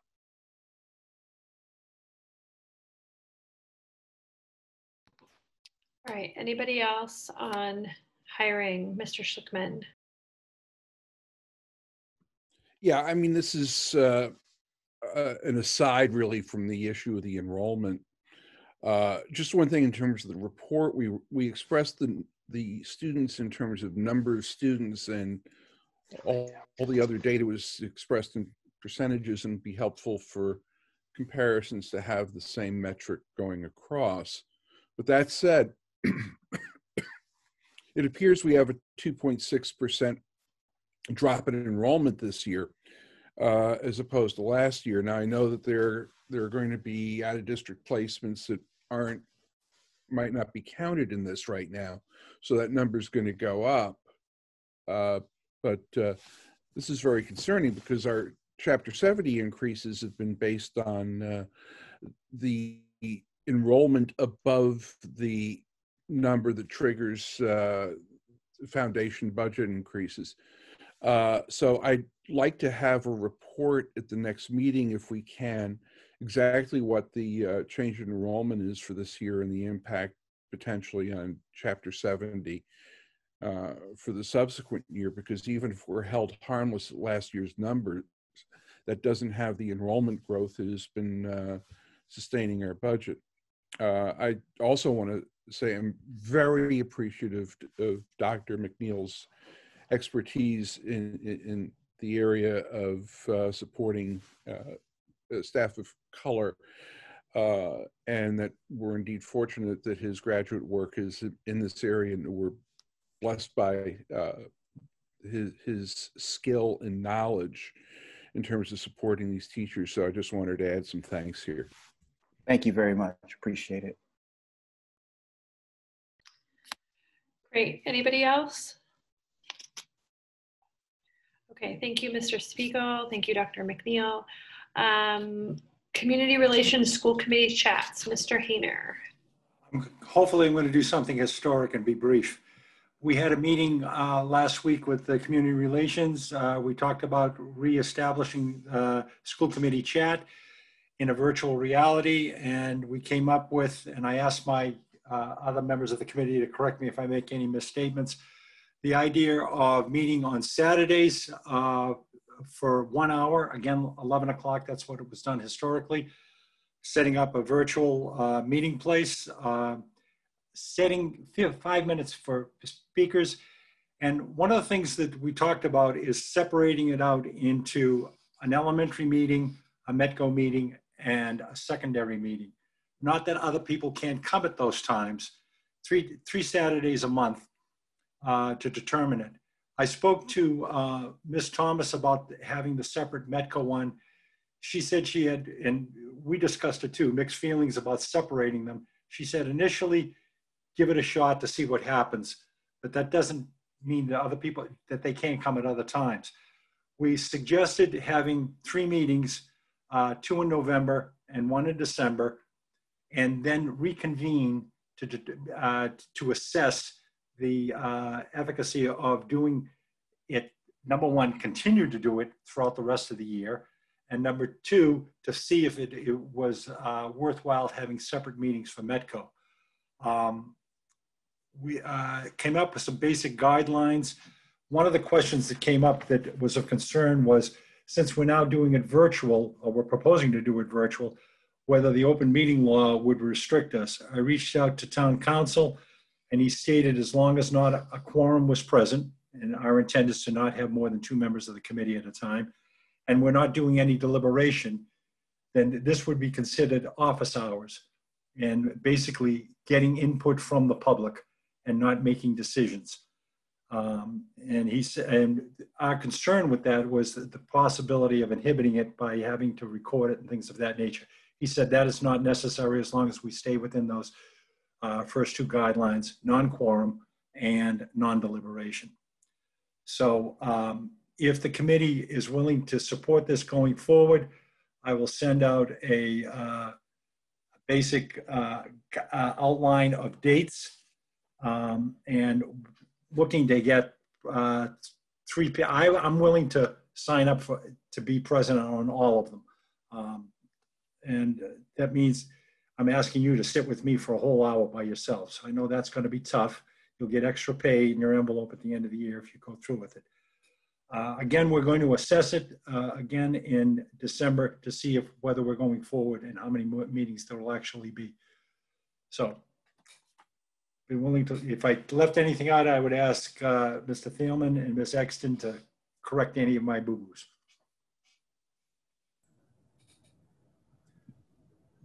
Great.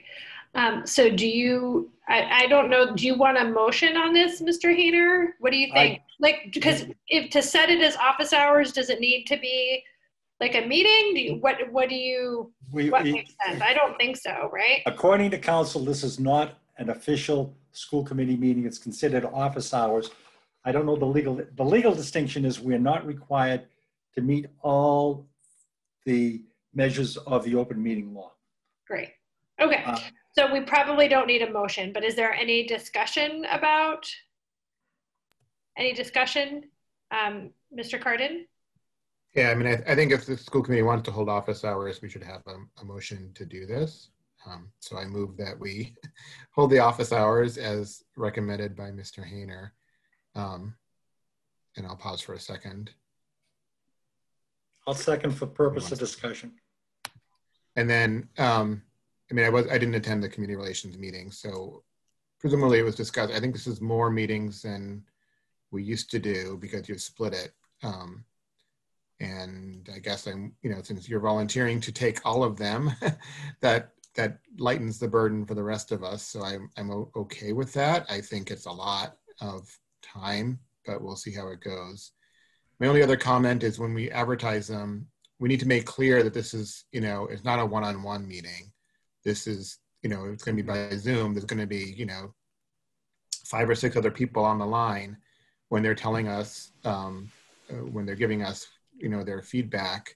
Um, whereas when we were at the cafes, um, we could often we could we could take turns with people, and there'd be a little bit more privacy. So, um, uh, so as long as people know the situation, and also reiterate that you know we generally can't get involved in personnel matters or somebody's grade is you know needs to be adjusted or things like that.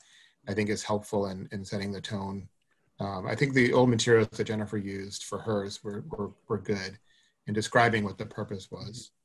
I, I put in the package uh, a set of a draft uh, thing of guidelines and basically talked uh, the idea of bringing things that they they. I began off with uh, a statement of uh, things that are going well in the system before we get to things of concern. The other thing that was mentioned is the possibility of doing breakout rooms, but I in, initially I'd like to try the general. I appreciate what you said. We have to let people know that this is going to be basically an open forum um, in communicating this. I appreciate that. Mr. Schlichtman? Yeah, I mean, uh, I, I know where Mr. Hayner is coming from in terms of doing this because he was online with a lot of the focus groups for the superintendent search, and these worked extremely well. Uh, and they were very informal. Uh, people were just coming in and conversing at the time, and and and I like the spirit of that. If I may, uh, uh, thinking about the way this should be set forth. Uh, it, to to sort of change the motion a little it, to authorize the community relations committee to schedule uh, uh, schedule and implement uh, these forums uh, at dates and times of their choosing.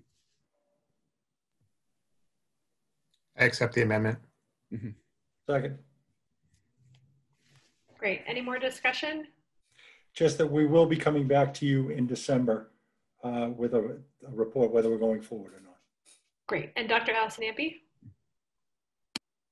I think this is a good idea to have the forums, but I, like Mr. Kardon, am also concerned that you're potentially talking about a lot of time. And even if you're taking up one of the seats, it's still a lot of time. Um, and that part of the reason it kind of fell by the wayside before was that we didn't actually have the audience. Um, so I think we can see, I'm, I don't know that I would support three meetings a month going forward, but we can talk when, after the first set. I would agree with that. I think it's, we all felt it was a, is a lot to do, but uh, if the showing is good, we go forward. If it's not going, we can always reassess it throughout the year as we did the, the- initially. Anybody else? Great. So on uh, Mr. Kardon's motion amended by Mr. Schlichtman, seconded by Mr. Hayner, um, Ms. Exton? Yes. Mr. Kardon? Yes. Dr. Allison Ampe? Yes. Mr. Thielman? Yes. Mr. Schlichtman? Yes. Mr. Hayner? Yes. And I am also yes. Great. Thank you all. Anything else on that, Mr. Hayner? You all set? Nope. Thank Lovely. you, everyone. Okay. Um, Dr. Bodie, Superintendent's Report. Thank you, Ms. Morgan. I, I really have one thing, and that is an update on the high school. Since you're not meeting there, you can't see all of that's been going on, but it is moving forward. Uh, things are going, are on time. And this week we sent out, uh, the sub bids, all the bids. And we should know in November how well the bids match budget. The other thing is that we are um, looking to see what kind of groundbreaking ceremony we might have. Uh, We don't know if we will actually do it now or wait till other significant um, points in the project. But traditionally, when you begin construction, which is technically what we're doing very soon, even though it seems like we've been under construction, is to have a groundbreaking ceremony with MSBA, the building committee, the school committee, board of selectmen. Um, and our OPM are in discussion, our OPMs are in discussion with MSBA as to uh, what that will look like now in the, the light of our current crisis.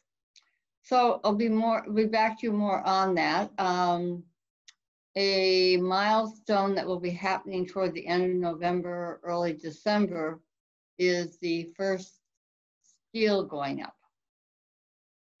So that's basically where we are. It's all going forward. And one thing I will um, just add to this is people have asked, now that the students are not in the school, can we accelerate what we're doing? And the answer is no. It, it's, the, the students in the school really have no effect on the schedule at this time. That's it. Great. Thank you, Dr. Bodie. Any questions or comments or feedback on that? Okay, seeing none. Um, the consent agenda, all items listed with an asterisk are considered to be routine and will be enacted by one motion. There will be no separate discussion of these items unless a member of the committee so requests, in which event the item will be considered in its normal sequence. Vote approval of warrant, warrant number 21065 dated 9/29/2020, total amount $599,641.65. Uh, vote approval of job description, social and emotional learning coach job description. Okay. All right. Do we have a motion? I mean, uh, yeah. So move. Second. Um, okay. Um, Ms. Exton? Yes. Mr. Kardon? Yes. Dr. Allison Ampe? Yes. Mr. Thielman? Yes. Mr. Schlichtman? Yes. Mr. Hayner? Yes. And I am also yes. Um, subcommittee and liaison reports and announcements. Budget, Dr. Kirsi, uh, Dr. Allison Ampe? I will be in touch this week. We need to set up a meeting to start thinking about the FY22 budget. Um, community relations, Mr. Hayner? We are going to have our next meeting on October 16th at 4:30. CIAA, Mr. Kardon? Thanks. So we had uh, two meetings last week. Um, most of you were were at at both of them, but um, for those who don't weren't in the public as well. Um, the first one was with the Board of Health um, at the town, the Arlington Department of Health, along with the chair of the Board of Health, um, staff from the uh, department, and then the appointed chair of the Board of Health was there, who is a, a medical doctor. Uh, we went over the testing program, which we've already gotten an update on. We also um, talked about um, both the relationship between the uh, the APS Director of Nursing and the nursing staff and the Board of Health, and um, uh, got a little more insight into that. Dr. Bodie meets with the um, uh, Christine Christine Bongiorno, who is the Director of Health and Human Services, as part of the emergency management team every day. So there's ongoing communication uh, and then there's staff level communication as to certain issues. Um, one example that we went through was the the the standard for quarantining um, students who who may be um, exposed to somebody in a school. Um, we the Department of Health made the determination that um, to go beyond the DESE standards.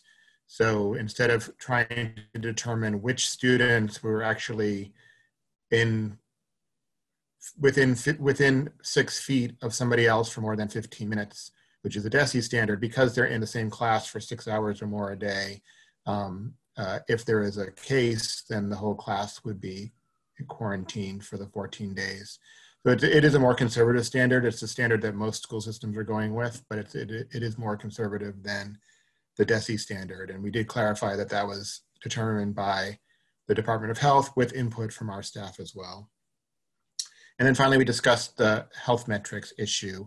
Um, some other districts have set forth metrics that they'll use to either um, just metrics that they're watching to see, you know, how things are going, or metrics that they'll use to determine that it's time to switch to remote, or it's it's time to um, uh, switch back to hybrid. Um, our the recommendation from the the Arlington Board of Health is that um, uh, they look at it more holistically. They are certain they're, they're, they are looking at the state report, which comes out every Wednesday, yellow, red, green ratings.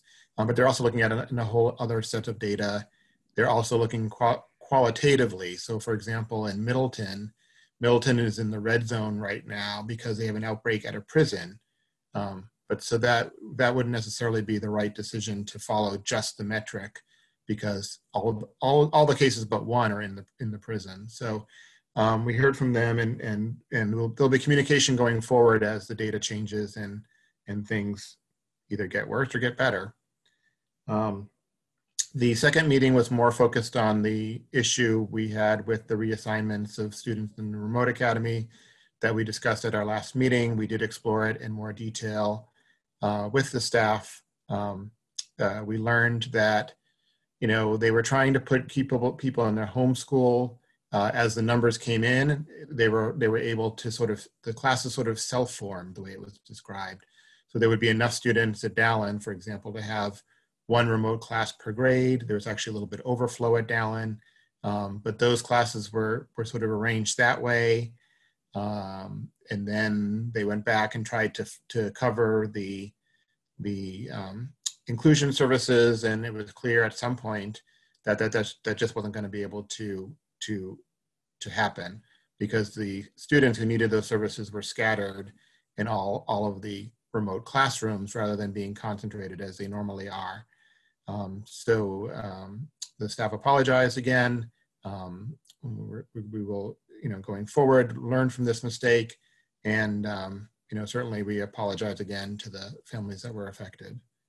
So that's, that was our, on our plate last week. We are gonna meet again, uh, hopefully next week. Um, we, we do need to work on uh, some form of evaluation for the superintendent. Uh, we do have to get back to the Arlington Human Rights Commission to meet with them on the issues they raised over the summer. Uh, and uh, we're available if the uh, Dr. Janger would like to present any of his stuff um, before he presented to the full committee. Um, we're also available for that. Thank you. Great, thank you, Mr. Kardon. Uh, facilities, Mr. Thielman. Uh, we're trying to schedule a meeting sometime next week before the 16th when the district's report is due to the school committee. And um, so I'll, I'll, we'll, we'll have it scheduled hopefully by tomorrow, end of the day, we'll know our time and date for next week. Uh, policy, Mr. Schlichtman, Uh, no report. and superintendent search process.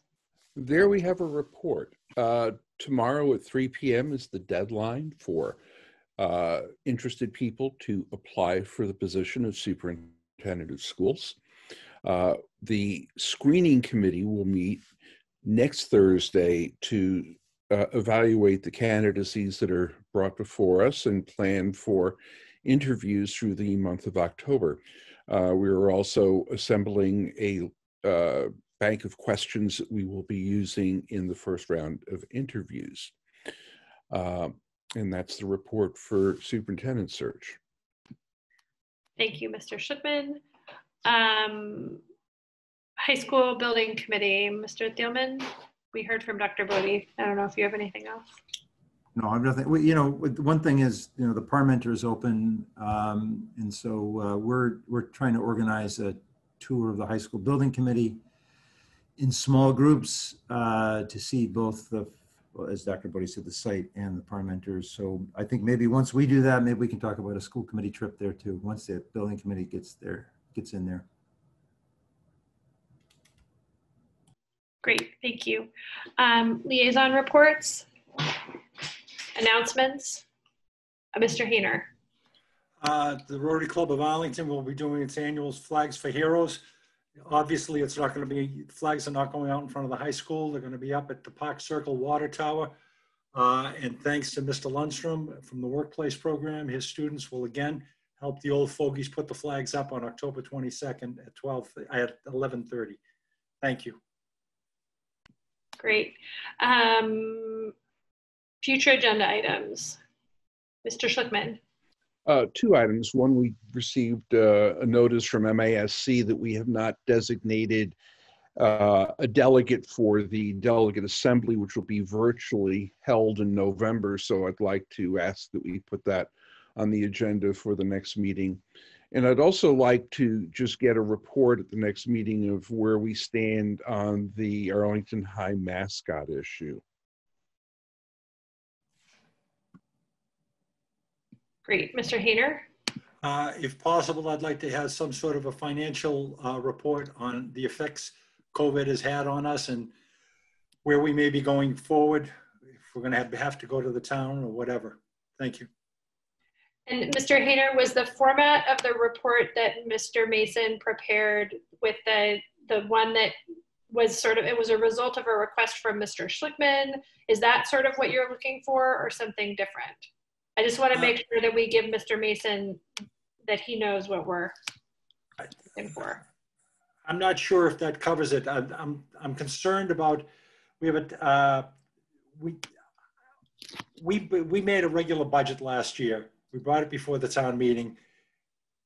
Our expenses are going forward. Uh, Mr. Kardon mentioned the possibility of us having to offer hiring bonuses and things like that. I'd like to know where we stand right now. If that report works, it fine. If it doesn't, I leave that to Mr. Mason. He knows the numbers. Are you good with that, Mr. Mason, or do you need any more from us? I'm good. I'm good. Thank you. All right, anything else? Mr. Kardon? Sorry, so that reminds me that, I, that it's for liaison reports. We did have a meeting of the Long Range Planning Committee since the last meeting. Um, so three of us were there, but not everyone. So uh, basically, it was just an update on um, you know where where the town plan stands. Um, you know, we we did get more um, money in uh, state aid than than based. Well, if if the if the promise of the governor and the House and Senate holds, and they all three promised this, um, assuming that holds, then we will get more money in state aid than we had planned for in the spring, in the late spring, um, or whenever town meeting was over the, over the, over the summer. So, but that's sort of, that additional money has been offset by declines in, expected declines in local revenue, the meals tax and the auto excise tax. So, um, you know, overall, uh, you know, we'll, we'll, we'll, we'll stay in touch. Uh, we'll meet again in December or so, but for now, there's no no crisis for this fiscal year on the on the town side. Um, but going forward, things might be difficult. Great, thank you, Mr. Kardon. Well, not great, but thank you for the report. Um, anything else? Liaison reports, announcements, future agenda items, going once, twice. Okay, um, motion to adjourn. So move. No executive session? We, do we need executive session tonight, Mr. Spiegel? Uh, No, but Yeah. we will next time. Okay, but not, Yeah. you don't need it. I, to- I, I wasn't ready for it tonight, so, but I, I will be next time. Okay, all right. Um, great, I'll talk to you about it next, later. okay. Um, so do we have a second on Second. adjournment? Great. Um, Ms. Exton, Yes. Mr. Kardon, Yes. Dr. Allison Ampe, Yes. Mr. Thielman, Yes. Mr. Schlichtman, Yes. Mr. Hayner, Yes. and I am also yes. Thank you very much. Thank you um, to everybody for coming. Been vivid. Have a good Good night. night, my friends.